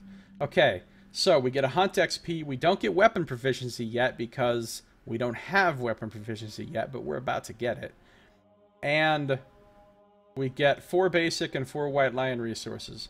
So please give me a skull. It's not a skull. Give me a skull. That's not a skull. Give me a skull. Yeah, motherfucker, yes! Skull's besting because I'm playing the People of the Skull campaign, which means we can use skulls to do a cool ritual to increase our stats. Normally, in the regular campaign, the skulls aren't really worth shit, but here they're awesome. I still need some bones, though. Dude, how much bones did I get in all this random crap down here? That's not a bone, that's not a bone. That's a bone. Those are bones. Uh, so I have gotten three bones already. Let's see what I get from the White Lion deck. A bone. A great cat. Oh, an eye of cat. You can make a thingy with that. And a great cat bones. And another. Oh, good. I need these. Oh, good. I needed these bones so badly. All right. Great. Uh, we're gonna copy this. Just slap it over here. Copy this. This is just something I need to do because of the way Tabletop Simulator and this mod for it is set up. I need to take these four, put them all back in the deck and shuffle it up. Put this stuff back in the back in the deck and shuffle it up. Put this back in the deck and shuffle it up. Shuffle that just for fun. Alright, so I got all these things. Plus, this guy, and this guy, and this guy, and I no longer have the priority target token, and this guy, and this guy, and all three of these. So this is my this is my haul from this hunt. Pretty fucking good, honestly. We should be able to make some stuff. Which is good since we have fucking nothing currently. Alright. Bring him over here to my settlement area.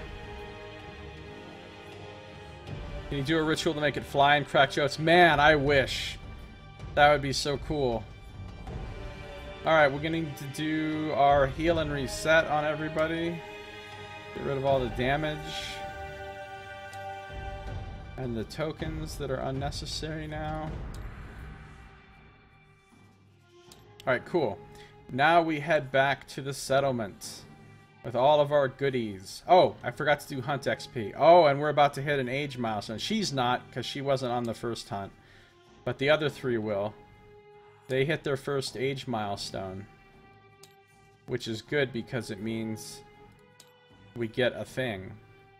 Four resources to the northwest of the board. Oh, no, no, no. Oh, yes, yes, yes, right? Because I didn't... Thank God, you reminded me, Nox. Yeah, these are not the copies. These are the... Well, they are the copies, I mean, but they're not... But yes, I need them. I, I get them. They're mine. Just forgot they were over there. Oh, God, I got a ton of stuff. Okay, this is great. Um... Alright, Hunt XP. So we got age milestones to do for three characters. So we go down here to the milestone events. That's what milestone events look like, just in case you're wondering. And go to age. That's what aging looks like. Apparently you're covered with blood all over your hands and feet, and there's giant weird faces behind you. This is the only table in the game, I think, that doesn't have a result on it that just kills you. the time in the darkness changes you. Okay, so three of my people have gained weapon proficiency, and we need to choose a type. And that's hard for me to decide what I want to even put it in. I know somebody's going to go fist and tooth just until we can get enough. Oh, but they have to get all the way up to master for us to get that ability. That might not be worth it. I'm not going to decide yet, because I don't have to, technically, because I can change my proficiency anytime before I leave for a hunt. So once I get back to town and look at what kind of weapons I can make, then I'll decide. But what I do need to do is roll on this table for everybody. So starting with, not her, Starting with Bone Grinder. Occasionally Bone Cowerer. He rolls a 2d10. He has no survival to modify this roll. Roll high. Really high. Ah, that's shitty. Nine. Oh, he gets a fighting art. That could be good. Or it could be completely useless. Let's find out. Unconscious fighter. It takes seven bleeding tokens to kill you. Actually, that's pretty cool. Alright, let's see what um, Bone Tree gets. He he has one survival to modify the roll if need be.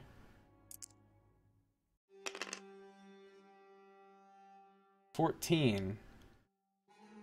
Also a random fighting art. Age milestones, so were they toddlers or something when they fought the White Lion? No, they weren't, but the thing is that's weird about this game is that it runs on these things called lantern years. Each each year is called a lantern year, and it's not an actual year. It's not it's not what we would consider a year. It's actually a much longer period of time. Because you can have children in one lantern year, and the next lantern year they're like adults that are ready to fight. So it's some indeterminate long amount of time. And obviously the people are very long-lived because your people can survive for quite a few lantern years. But it's not specified like how many days a lantern year is because I don't think this takes place on Earth.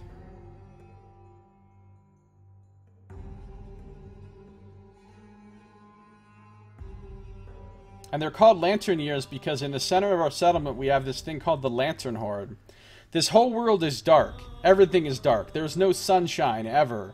It's just dark constantly. And so and in the darkness everything's really dangerous and scary and and overwhelming to your sanity and everything wants to kill you. So the only place of safety is places that have light, but there's hardly any light anywhere in the world. So they have this place that for some reason is filled with tons of these burning lanterns that's providing light, and so that's where they built their settlement around the around the lantern hoard. But every so often one of the lanterns goes out, and that's a lantern year. Is is the time in between each lantern going out, but it's an indeterminate amount of time, but apparently it's pretty long. Um Oh yeah. He gets a fighting art. Bone tree. Give me something cool. Tumble. Oh, Tumble sucks. I mean, Tumble's okay. You can get out of the way when something would collide with you. But it's not really that cool. It's like that song, Ain't No Sunshine When the Cow's Gone. Yeah, it's it's it's kind of like that. All right, what is uh, what is Ghost Skull gonna get for her special thing? She rolls 2d10. Come on, give me something high so I get a permanent stat boost or something. Oh, a 4? What? She's gonna get something terrible. Oh, wait. She got plus 1 permanent strength. Actually, do I want that or do I want that evasion? Because I think I have enough survival. I think I want the strength. I'll take the strength on her.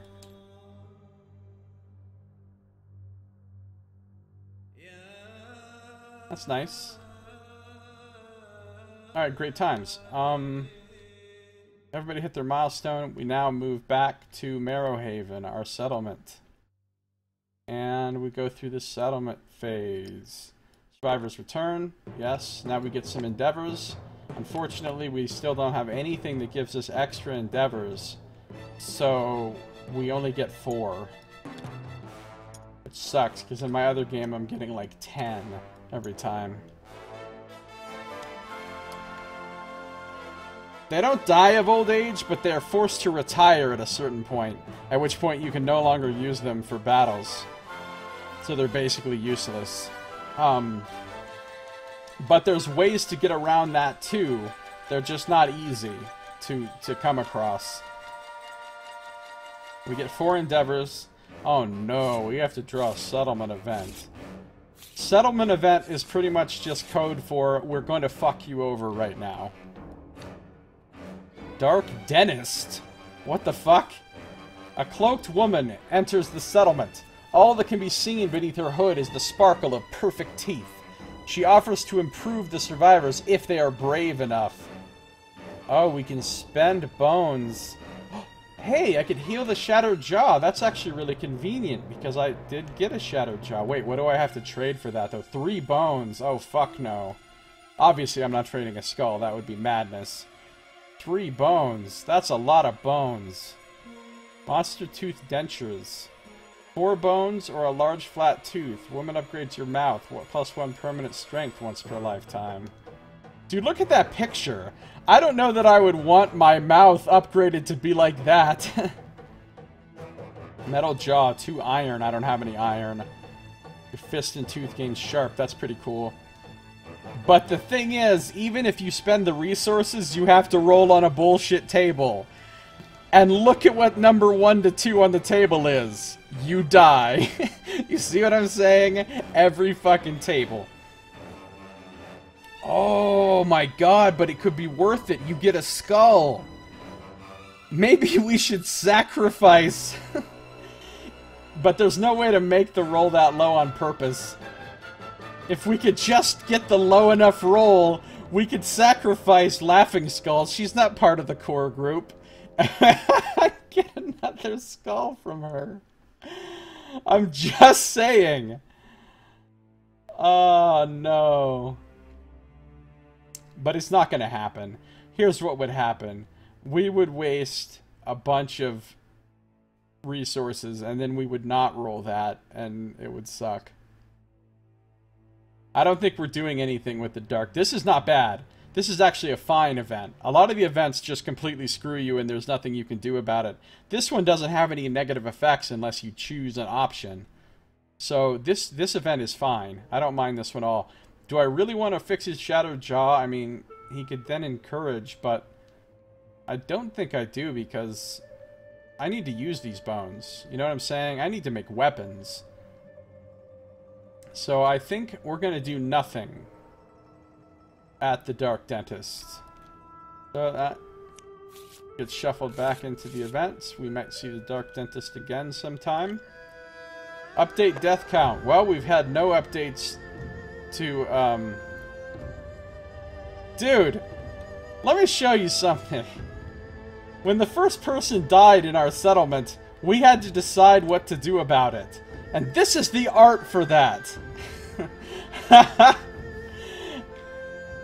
and we chose cannibalize. When somebody dies in our settlement, we harvest their body for resources.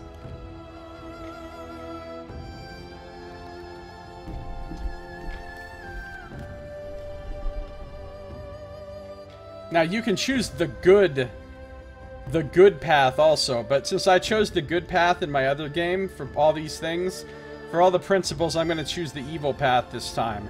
And for children, we chose survival of the fittest, which means our children have a better chance of dying when they're born, but if they do get born, they're stronger. I mean, if they do survive, they're stronger.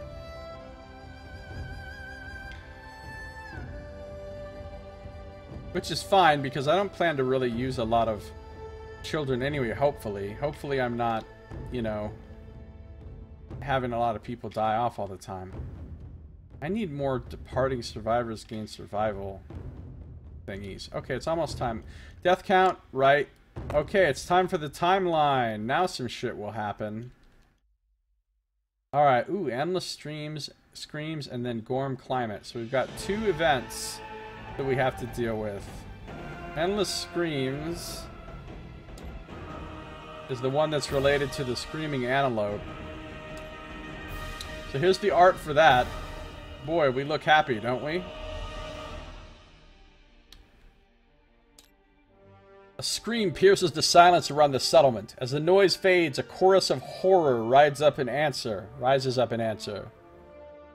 The settlement erupts into chaos, trying to comprehend the source of the terrible wail. You may now hunt the screaming antelope. Add it to your quarries. So we have three things we can hunt now.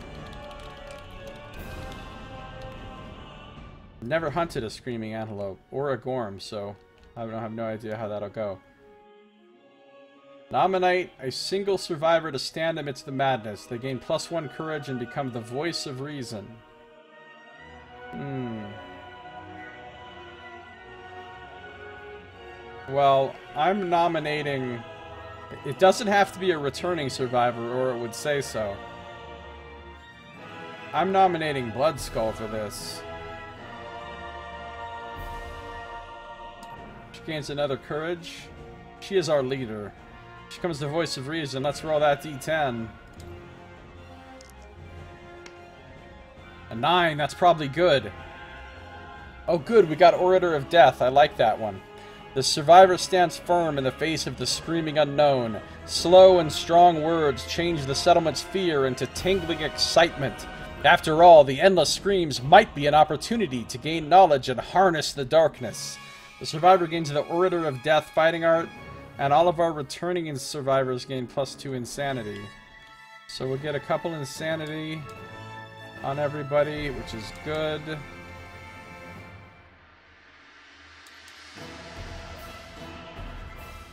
Because that protects you from brain trauma. But it can also really hurt you. Sometimes if you're insane, really bad things happen to you. But, you know, whatever, whatever. Orator of Death Fighting Arts. Yeah, insanity is like armor for your mind in this world. Basically, you need to go insane because this world is so horrible and all the monsters do such mentally traumatizing things that you your brain couldn't handle that trauma if you weren't fucking crazy.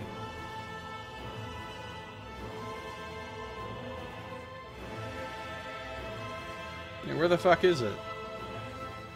Here it is.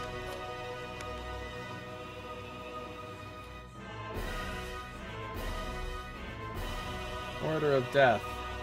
Once per showdown, she can give everybody some insanity. Plus, there's a, um... There's a mental disorder you can get in this. There's a whole deck of mental disorders that your character can get in various ways. But there's a mental disorder called immortal where your character believes that they're immortal. And because of that, any damage they suffer is dealt to their insanity instead of to their actual body. So as long as they stay insane enough, they really are functionally immortal. But it doesn't always work out so good. Um, this is where the humans ended up after the cows kicked them out of the Milky Way for beef-related crimes.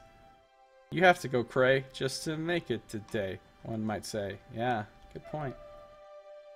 Alright, cool. So we've done the Endless Screams. Now, we have to do the um, Gorm Climate, which is up here in the Gorm book. Gorm And here's some art that I don't understand how is related to the Gorm, but maybe this the Gorm's kind of area, and when you go there, there's body parts everywhere. We've done the approaching storm. I don't want to do Fed. How do I do Gorm climate?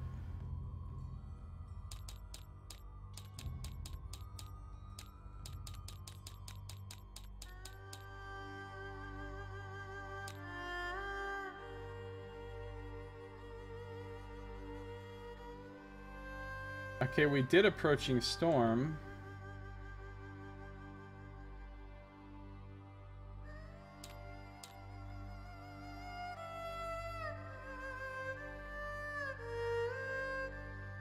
Oh, it's a settlement event.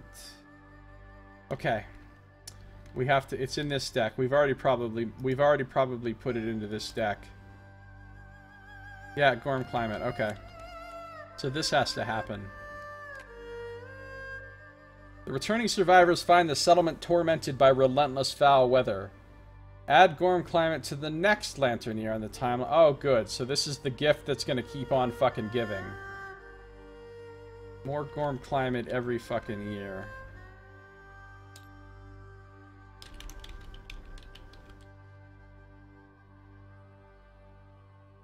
Oh, and I do have to check the box of this year. Alright, I have to roll and see how screwed we are. I'm not a fan of any of this. Alright, who's going to preside over this roll? Who has survival left? Ghost Skull. I need you to do this roll. A 9, okay. That might not be terrible. Does the settlement have storytelling? Oh, if your answer is no to one of these, it's never good. Oh, maybe it is good.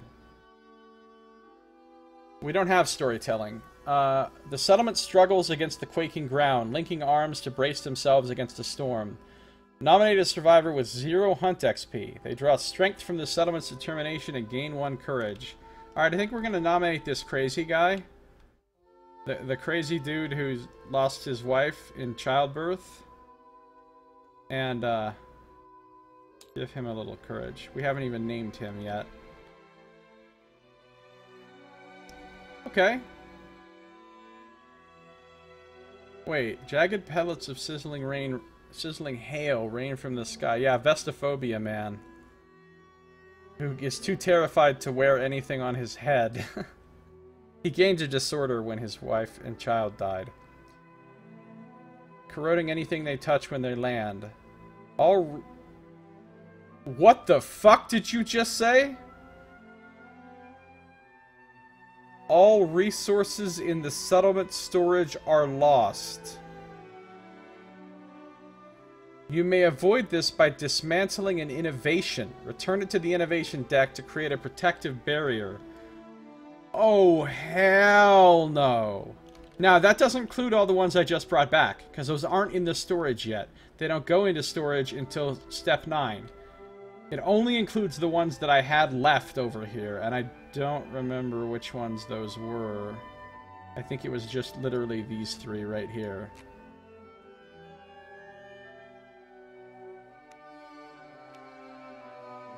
It doesn't include the ones I just brought back, because we haven't put those in storage yet. Those are on us. Oh, those are if you rolled a one... Oh, thank God. You're right, Knox. I thought that was just blanket text and then the... Yeah, okay, that doesn't happen. It doesn't happen. That's good. But I have to keep in mind that it might happen next year, right? Because we know Glorm Krem is going to happen next year, and probably again every year, because if the card comes up and the card tells you to add it to the next year, it's going to keep coming up forever, until something else happens, some other event that's probably related to hunting Gorms, removes this from your deck, so or from your timeline. So this might happen a bunch of times in a row. What that means is I probably shouldn't keep shit in the storage. I should try to like use all the resources that I can each time because I might come back and lose all my resources if I don't. So it's good to keep that in mind.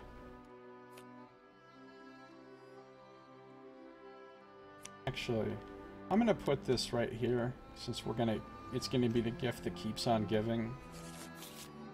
All right. Sweet. So our timeline is done. Now we get to develop. We have four endeavors. I can use them for a variety of things. I could fuck around using them just to play some drums, but I find that unlikely. I, um... Obviously I'm going to use one to innovate, to get a new innovation. And I have to spend a bone, an organ, and a hide to do that. So we spend an endeavor. We'll spend these testes. We'll spend a generic monster hide. And I need to spend a bone. We've got a lot of cat bones. A lot of lion claws, so we'll spend a lion claw. And now we get to draw two cards from our innovation deck and see which one we want. I could learn. Uh, not partnership again. Get out of here, partnership. That one sucks. Paint. Oh, paint's good because it gives you the dash action. I now I don't understand why having paint helps your people run fast during battle, but let's not question it. The settlement swells with creative energy. All survivors gain the dash action, and we add paint consequences to the innovation deck. What is it? Art? Yeah, it goes in the art section. So, so far we have one art, one home, and one music. No faith, education, or science.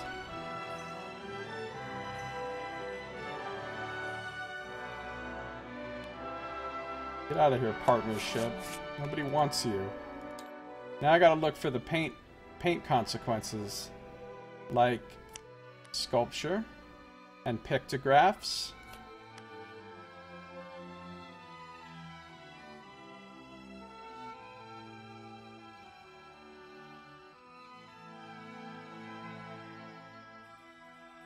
And face painting. Important technology there. Okay, so now those three get added to my innovation deck and are possible for me to get next time.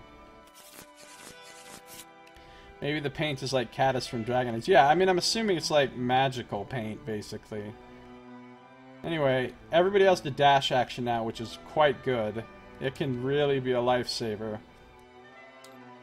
can really be a lifesaver. He can't encourage because his jaw is broken. Forever, apparently. At least until a dark dentist fixes it for you. I can't believe I got Tumble. Get out of here with Tumble. Alright, um... So that's our first endeavor. Our second endeavor is absolutely going to be People of the Skull time. Skull Ritual. Four survivors will consume the skull and get a permanent plus one to all attributes. It's amazing. So we get rid of the skull. And of course the four are going to be our core full. So Ghost Skull. Oh my god, her stats are getting so good. Considering we have no gear, these characters are actually really powerful already. And Bone Tree.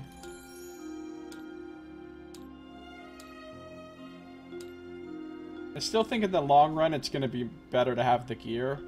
Because gear is your primary source of of advancement and um, power in the game. So not being able to use a huge percentage of the gear that's in the game, especially the better gear, is going to hurt us. But if we keep getting skulls regularly, then... Oh, I forgot movement, too. Oh, we're going to have some mad fucking movement. And then Laughing Skull, no. You are done here. Thank you for filling in, but it's, it's time for our leader to come back to us.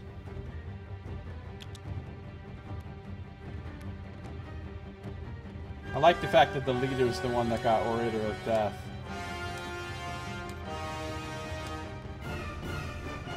Three speed!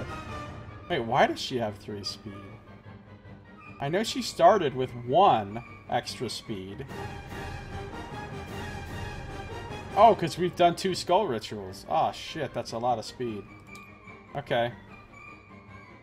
We have two endeavors left. Here's my options. I could build a skinnery, practically useless to us.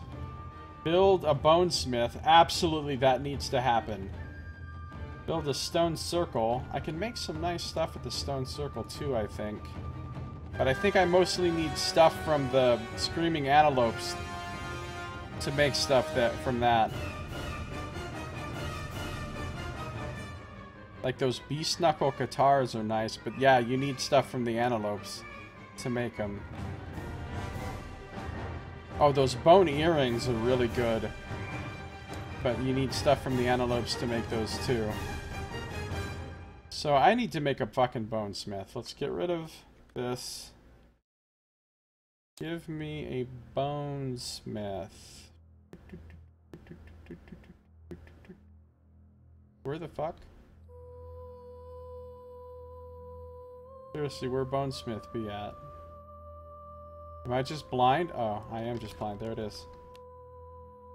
Bonesmith, Bonesmith gear. Alright, we have a Bonesmith now. Which means we can actually make some fucking weapons. Which is great. We have one Endeavor left. I don't know what to do with it. I'm not going to build a weapon crafter yet. Although most of the things of the weapon crafter we won't even be able to use. Because most of them don't have the bone keyword. We're, we're not going to build a stone circle yet. I can do an augury. Or I could do drums. I think I'll probably do an augury because if we can get our population up one more, we can trigger the principle society thing, which would give us some kind of advantage. So an augury could let us get a child. You have to endeavor to glean the meaning of existence in order for people to fuck in this settlement. Or you have to have love juice. One or the other. Alright, let's talk about what we're going to make here. Well, first of all, how many more monster greases can I kick out? Lucky Charm. First, two blue affinities. I don't have anything that's going to get me those blue affinities. I don't have any scrap, and I don't have heat, so I can't make monster tooth necklaces.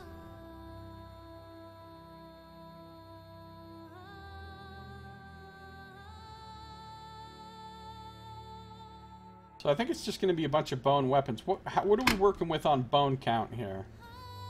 Oh, and we add the Catarium. After our first real lion kill, we add the Catarium as well. For free. But again, a lot of this stuff isn't going to be any good for us. Because looking at the stuff we can make in the Catarium, we could make a lion skin cloak. It has the bone keyword for some reason. What does that require? Two white fur. We do not... We do have two white fur. That's actually kind of nice. Um, but most of these items... Oh, we do have a cat eye. We could make a cat eye circlet. What does it even do? Reveals monster hit locations and put them back in any order, but it takes your action. Alright, uh, Saito, have a good night. Thanks for coming by. Thanks for hanging out, chatting. Hope you have a good one. I'll see you next time.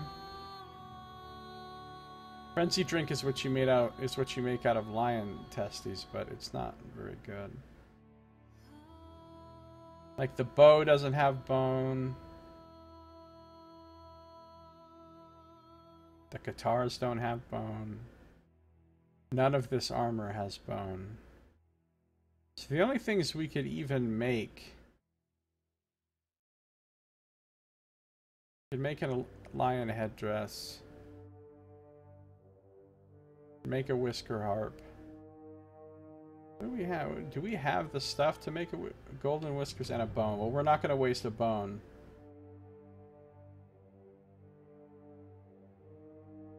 You know, lion headdresses aren't bad. Oh, no, we can't because... Oh, no, it does. It's not armor.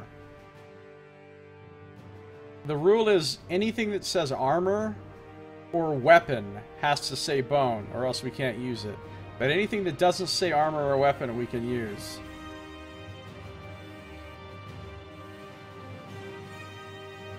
We could make that cat eye circlet. This lion skin cloak. Let's not get ahead of ourselves.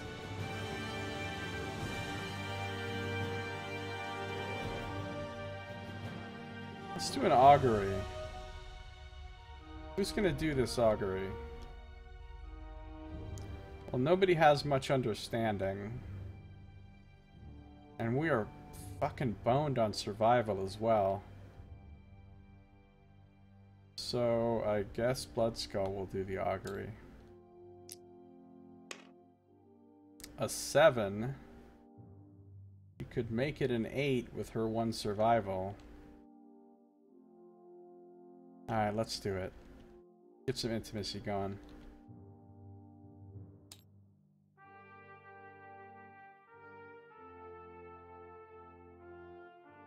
Oh man, we don't get dick for departing survival though. I need to get some departing survival bonuses stacking up stat. Which means I need fresh acanthus. Which means I need to go hunt the, the antelope, because you can get acanthus from... Because normally you're getting your you're getting your um, initial survival bonuses from stuff like rawhide gloves and rawhide boots that give you extra survival when you depart, but I can't wear those.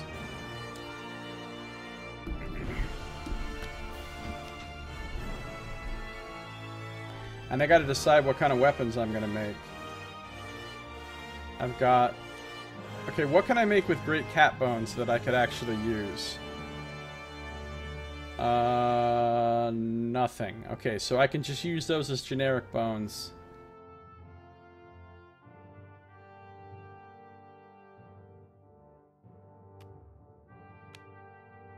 Same with lion claws, right?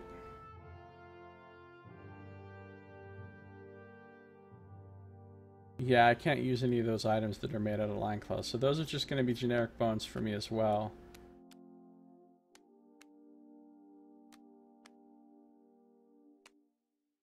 So I have five bones.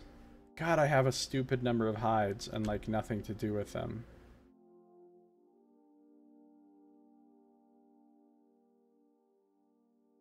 Other than make lions. No, those only require fur. Headdress only requires shimmering mane.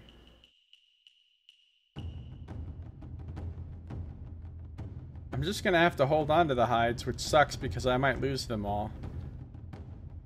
Like, once I make something else, I might be able to make something else. that didn't even make sense. But anyway, oh, this is the endeavor I'm using for that augury. So we did trigger an intimacy event. So let's get intimate up in here.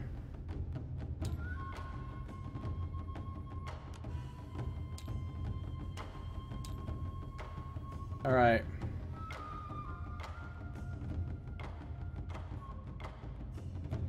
Ghost Skull's gonna do the intimacy. I mean, she's not actually gonna do the intimacy, she's gonna roll for it. A nine. Great. we can get a savior! If I spend a survival to make that a 10, because we have the Hovel innovation, on a 10, a special child is born instead. On this day, everyone remembers the birth of a special child. Where she steps, hope flourishes. Birth of a savior! Oh, let's get a savior going. First of all, that also raises our population to 15.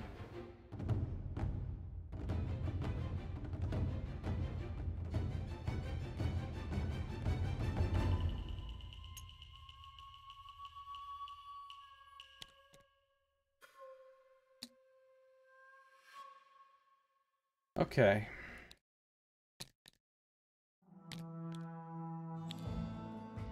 So this is our savior.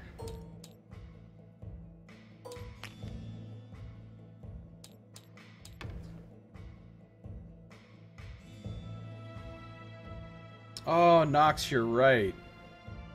Fuck my life. I do have to roll twice and take the lower one.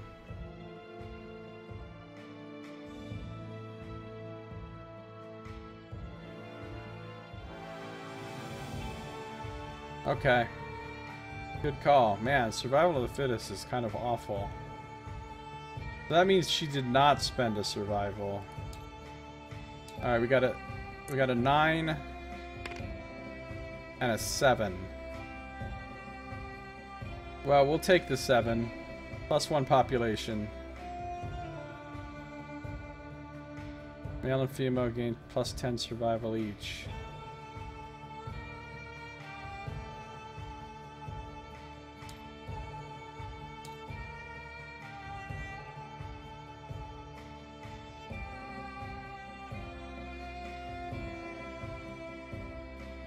Did have another babby.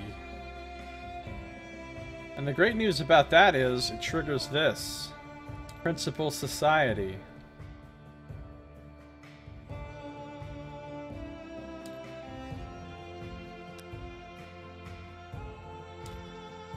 Here's the art for Principle Society, apparently. I don't even... Some scary ass shit.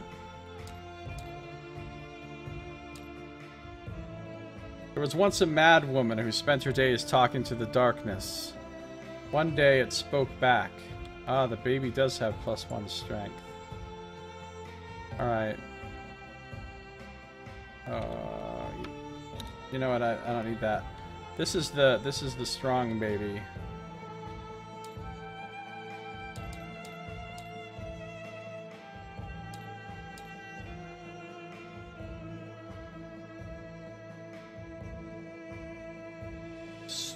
baby.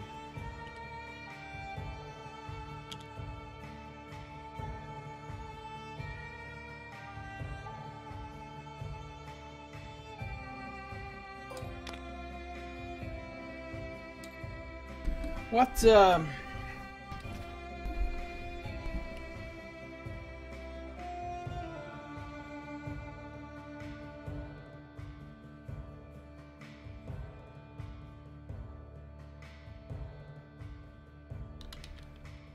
Bonebreaker.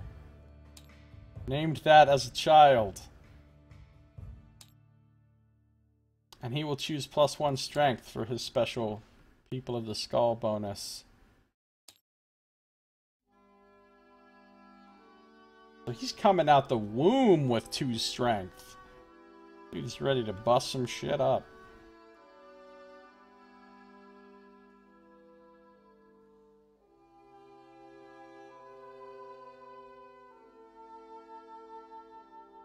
Strong bone. Alright, anyway. One day the darkness spoke back. We have to decide between collective toil, which is what I chose last time. Tainted by darkness, a survivor nearly brought ruin to the settlement. On the day of her exile, the people decided that all must spend equal time hunting and working to avoid future disasters. Minus one population. Add Bone Witch to the timeline three years from now. I don't remember Bone Witch being very good. Oh man, nominate up to four survivors, everyone gains five survival. That'd be really helpful right now. Timeless Eye is a nice fighting art also. Timeless Eye gets you perfect hit on a 9 or 10, which means if your character's built around perfect hits, it's solid. I never got that one, but I saw it in the deck and it looks great. But we're doing the evil ones this time, so it's time to accept darkness. The darkness spoke startling truths. It told the people they were monsters, just like the ones they hunted. The people accepted their monstrosity and their place stalking in the darkness. The settlement gains a society principle, accept darkness. Also, roll a d10.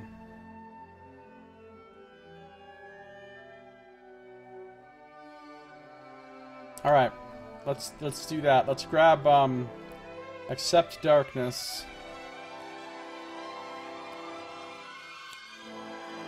Uh, uh, wait, what? What just happened to your card? No, get out of get out of there.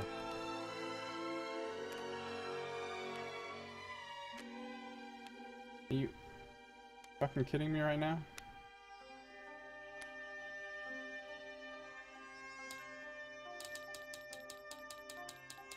My card got embiggened somehow.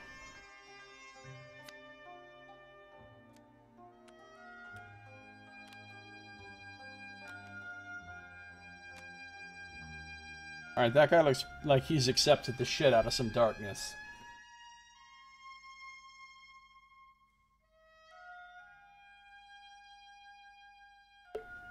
Dude, that card was ready to charge the pillar. The settlement no longer fears the darkness. Letting go means your resolve cannot be cracked. Plus two to all brain trauma rolls. That's kind of terrible. I mean, this one's way better. Extra, extra fucking endeavors? But, I'll take it. Here's something I'll completely forget to ever use. Right? Because by the time I have another brain trauma roll, I'm going to forget that we get a plus two to that shit. But you can remind me.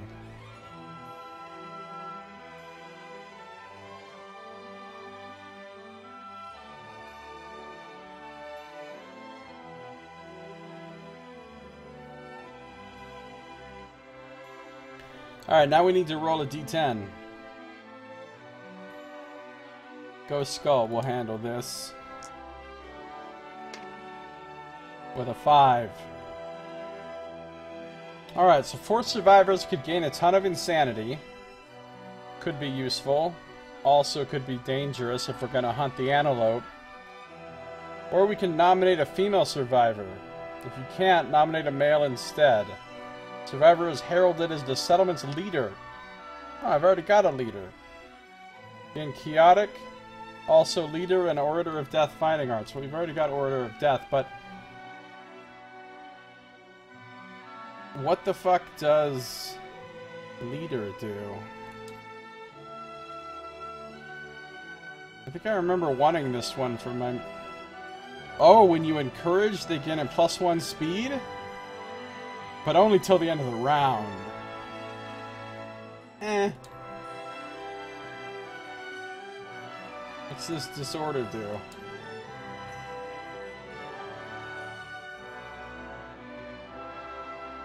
If you're insane when you depart, you get a survival and a strength token?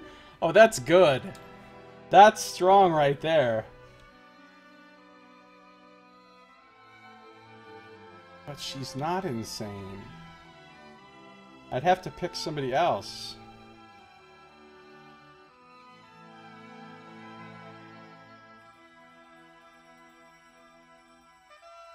Well, Ghost Skull could be the leader.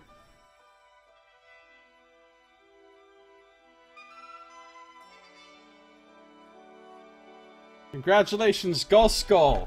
You have been promoted to leader. Since since Blood Skull didn't go out on the last hunt, she's lost her position.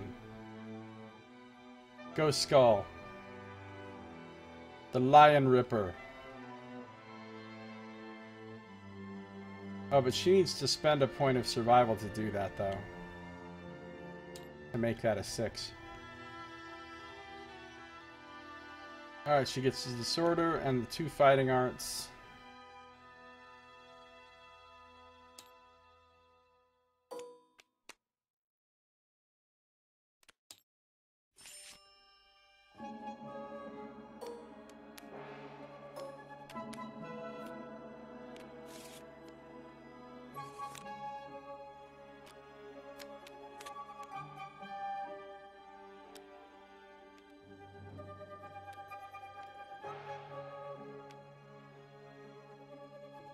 Pretty good.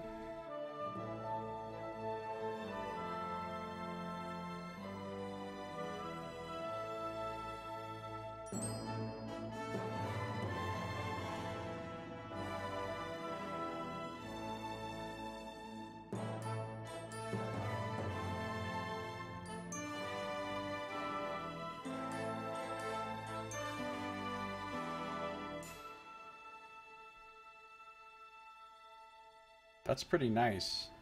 Gain survival and strength token. Every time you depart if you're insane. I wouldn't mind if everybody had that disorder. Okay, nothing else happens as a result of this, right? Okay, no. Alright, so we've used all of our endeavors. The only thing we can do now is make stuff. So what kind of weapons do we want to work with here?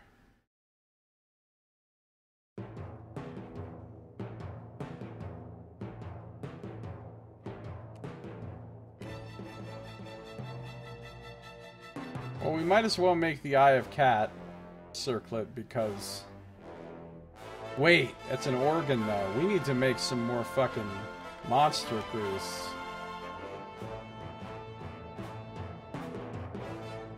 Hey, I wonder if we should do this right now. I wonder if we should fucking eat this fruit right now and start the Lonely Lady story event and see what happens. No, not yet. Let's make some weapons first and put them on our people. Then we'll eat the fruit. Because I don't know what's going to happen. Alright, I can make a monster grease out of this and out of this. So let's get rid of those. Let's make a couple of monster grease.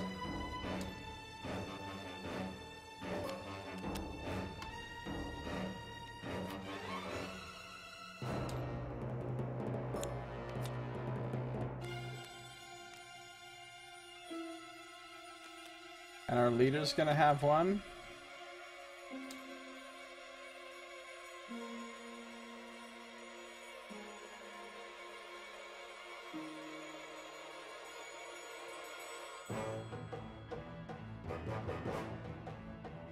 Blood Skull's gonna have one. Fuck you, Bone Grinder. Okay, what else can we make? Golden Whiskers and a bone. We don't have Golden Whiskers. We could make a lion skin cloak for somebody with two white fur. White fur, white fur.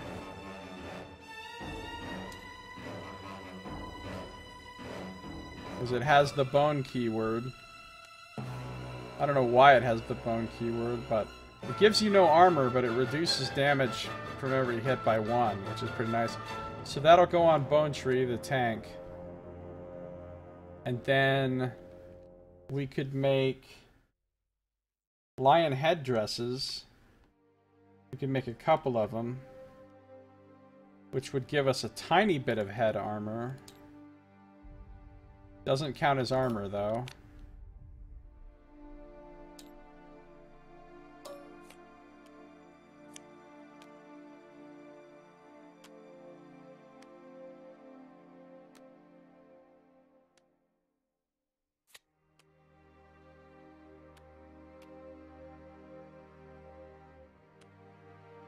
So Ghost Skull and Bone Tree will get those. Well, we're going to make weapons. That's what I'm saving all these bones for. I was just looking to see what I could make specifically out of cat parts that aren't bones.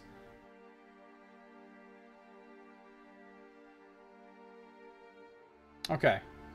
We can't do anything with these hides right here. Nothing. And the fruit Oh, so now I have I have five bones to use. So means I can make five weapons, because each weapon at the bonesmith only requires one bone. Ooh, I could make a skull helm though. No, need to make weapons. I do want a bunch of bone darts.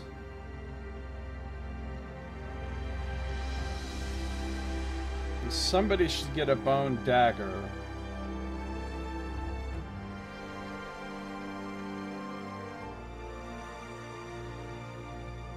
Alright, I'm gonna make a bone dagger.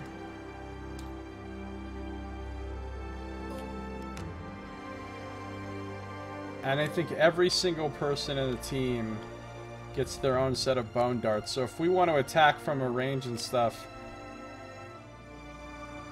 we can. But I don't know that that is as helpful as I think it is. Because the monster's gonna turn in basic action and come towards you and maul you anyway.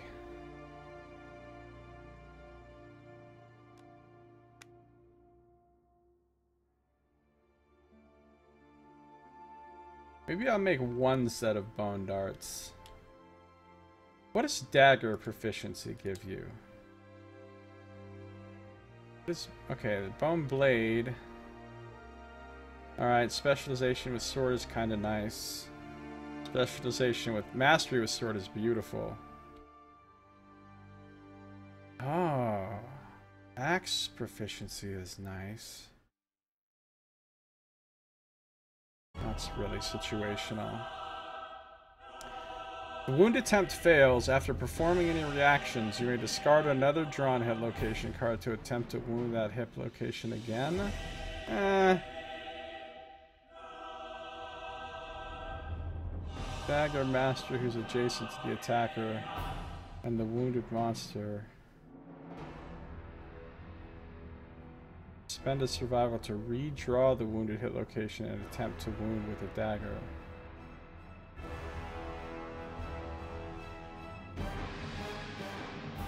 Wait, what? That's pretty interesting.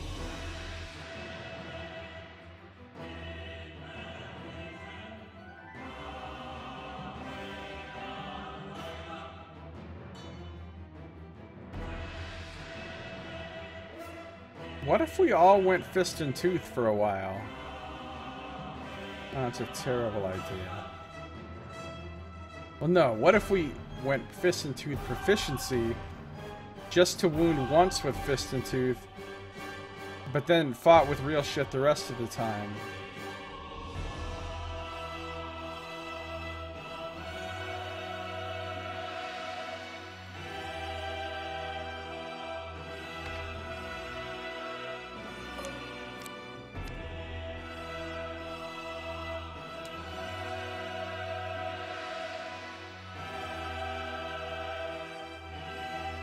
Six two. E six three. Bone axe is nice. Bone dagger's good though for the extra survival.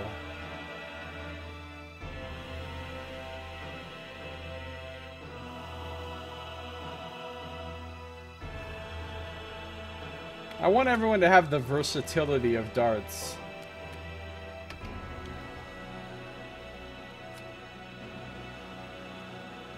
We'll build other weapons when the time comes, when we have more bones. That's going to spend our five bones right there. Darts for everyone, and one person gets a dagger.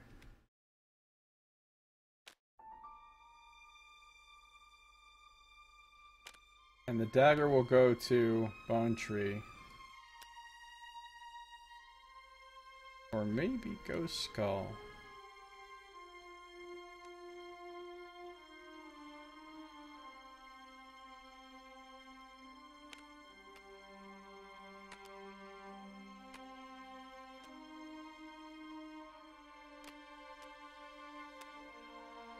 I just realized we have a lot of movement.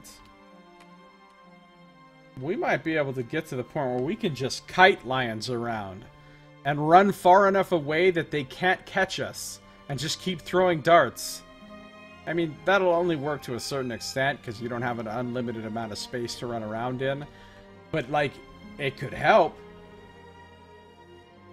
Or whatever monster we're fighting, especially if we can, like, debuff their movement speed could lead to a good kiting opportunity.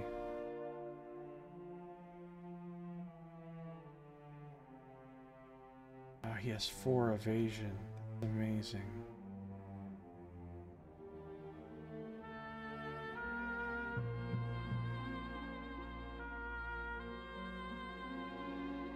Ghost Skull's also got a dagger.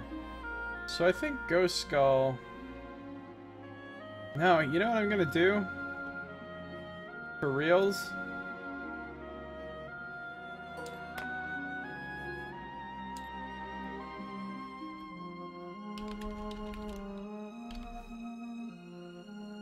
Because if you master Fist and Tooth, a really nice thing happens. If you master Fist and Tooth, you get a permanent plus 2 accuracy and plus 2 strength that you receive even when not attacking with Fist and Tooth. Of course, you don't get the benefit of another kind of mastery. Hmm.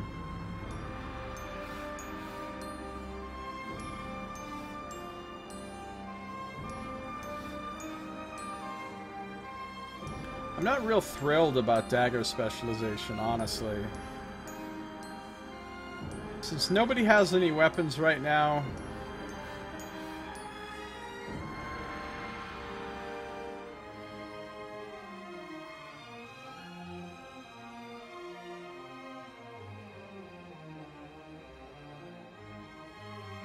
Alright.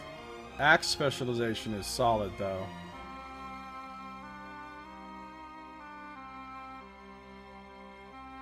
We need some axes in our lives.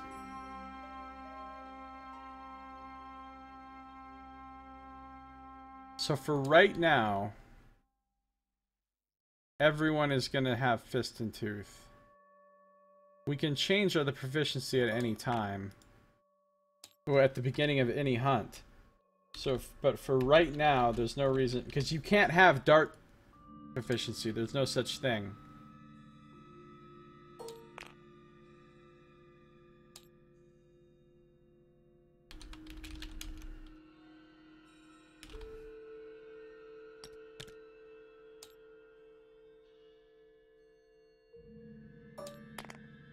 So basically we're going back in and ripping some parts off with our bare hands again.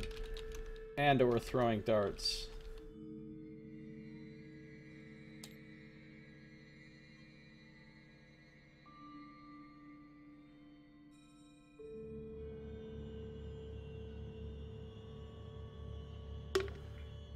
And you can use the darts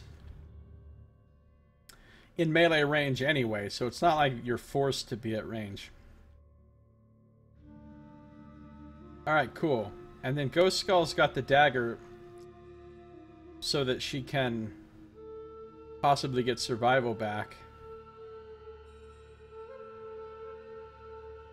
Because she's the one most likely to spend survival to encourage people so they can get that speed token.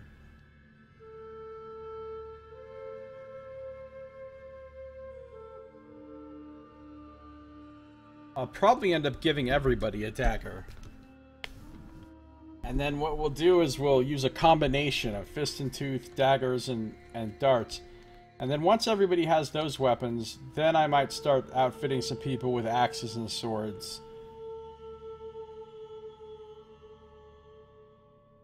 So I can't do anything with these three hides. Now the question is, do I eat the lonely fruit? I don't know. This could com fucking completely annihilate me. Like, this could be super terrible. If I do this right now, I could just kill all my people. I have no idea how bad it would be. So, it's a it's a really tough to decide whether or not I should do it. I think I'll do it next year. Oh, but next year if I if I come back and this happens, and I lose all my storage, I would lose the Lonely Fruit, which I don't want to, because I may never get another one again.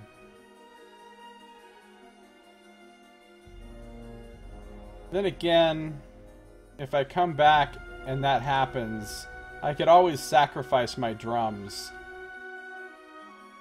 to create a barrier. I don't know. I'll do it next year. Mostly because I want it this year to end. I feel a little bit better about us now that we have a, a couple of things.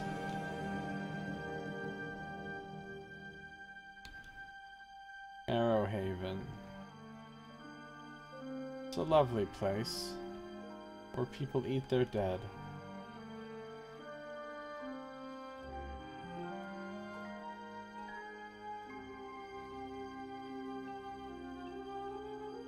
So, the last thing you have to do in the settlement phase is decide what you're going to hunt next. We can go after the Gorm, or we can go after the Antelope.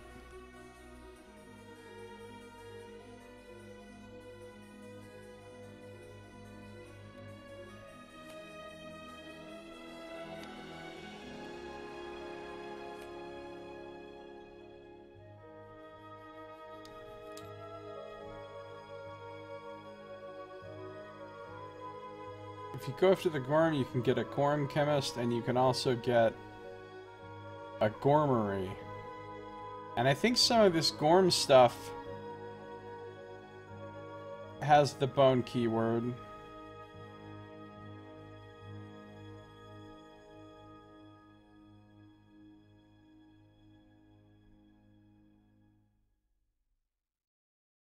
But then there's the stone circle where you can make stuff out of the antelope.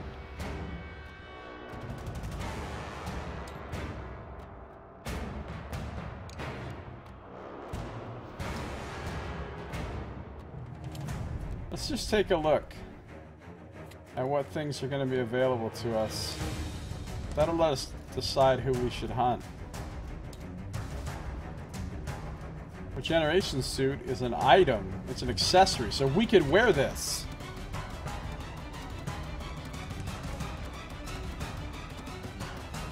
Oh my god, look at that suit! At the end of the showdown, remove any permanent injuries you suffer. I need some of those in my life. What do you need to make that?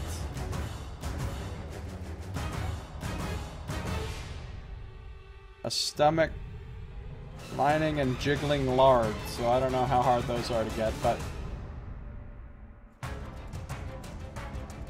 What else do we have here? A lantern.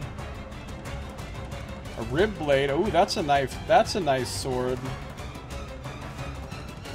Um, with the bone keyword.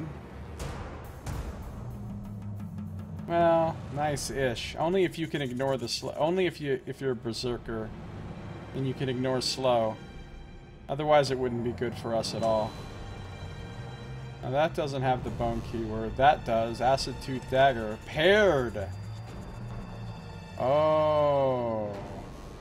On a perfect hit, a wound attempt in your attack automatically succeeds. what? Okay, that's a nice fucking dagger. You could have two of them, and it would be pretty fucking strong. But the rest of this stuff... Oh, a Gaxe. That's a strong axe. Wow, one with speed and savage.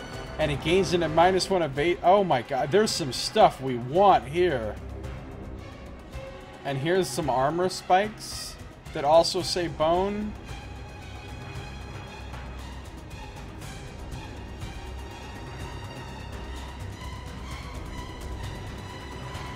And the rest of this stuff doesn't say bone, but man, that's some good stuff from the Gorm. Whereas, can't use that. We could use the Screaming Horns. That's pretty cool. Blood paint. I do. Lance of Longinus has a bone keyword. Bone earrings. Wait, if all gear in your gear grid has the bone keyword, though. It's fucking good, though. Rest of this armor, though, I can't actually use. Oh, I could get make get those beast knuckle katars. They're bone and they're paired. Ooh. So honestly, both sound good. I I don't know if the Gorm is going to be harder or easier than the Antelope. I think I'll go after the Gorm though, just because it's more interesting, just because it's new and it's an expansion and plus I feel like going after the Gorm will lead us to some sort of means of removing the Gorm, Gorm climate thing. So I should definitely go after the Gorm next. Um...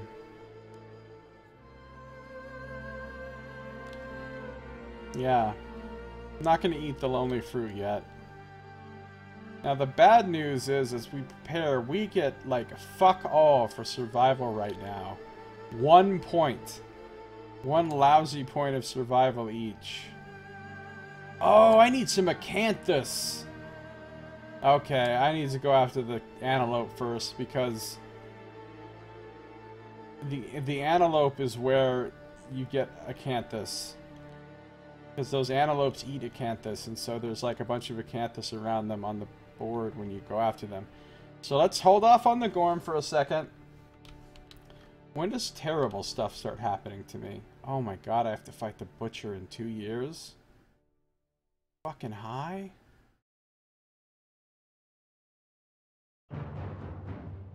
Alright, well. We'll go after the antelope next. So let's get things set up for that. Let's move all these white lion cards.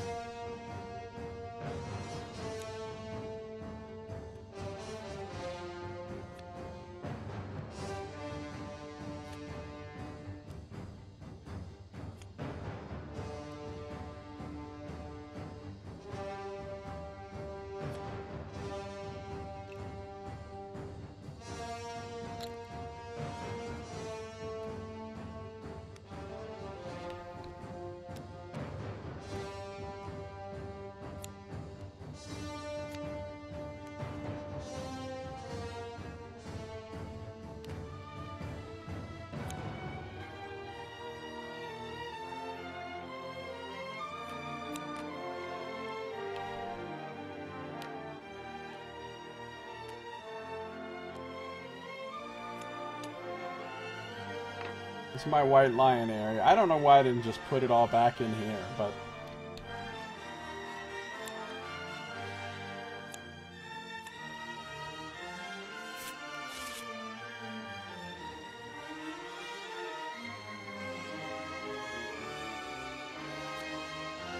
Alright, but I need to pull out the stuff for the antelope.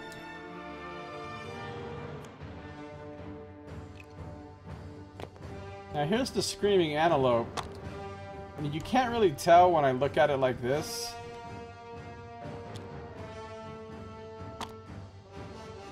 But it's got a giant fucking maw on its torso. Like right here, this looks like it's just a big green thing, but that's actually a giant fucking mouth. Toothed mouth al along its whole torso, so it's kind of a crazy creature.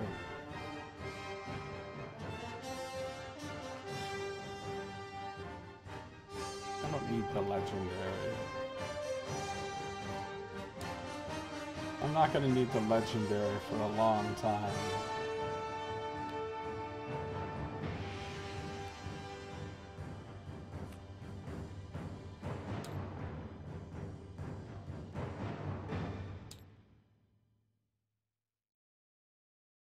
Antelope Legendary, Antelope Special, Antelope Basic.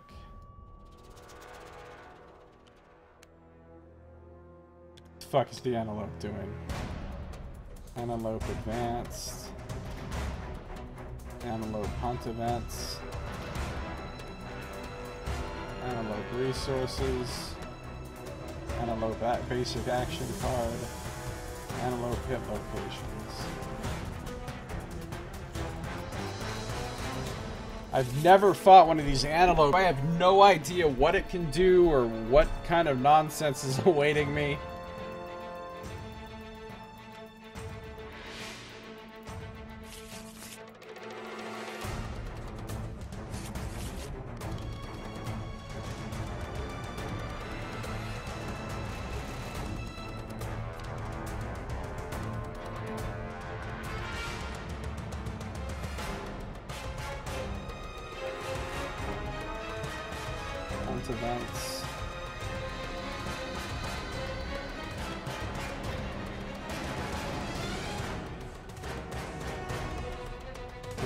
Resources. Ah.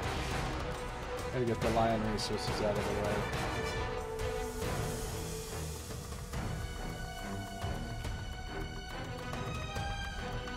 Alright, everything is set up.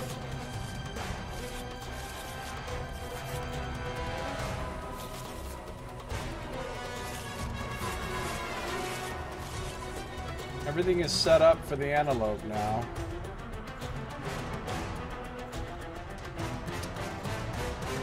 And I turn to the antelope page. Alright. So this is where I save for the end of the year. Now that we're all ready to go. Slightly more equipped than we were last time, at least. Still a little bit worried about our chances.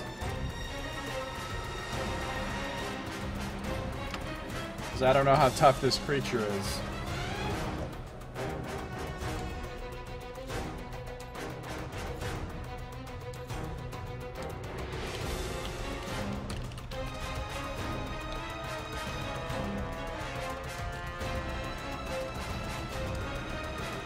Oh, no, not year one. That's going to be confusing.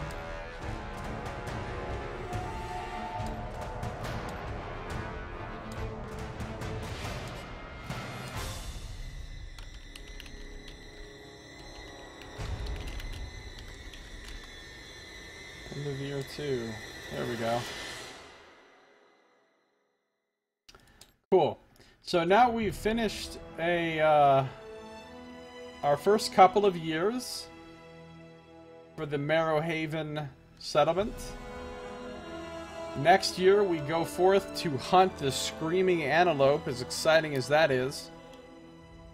But I think that's going to have to be on our next episode. That's going to do it for this one. Thank you for watching. This has been Josiah Plays Kingdom Death Monster.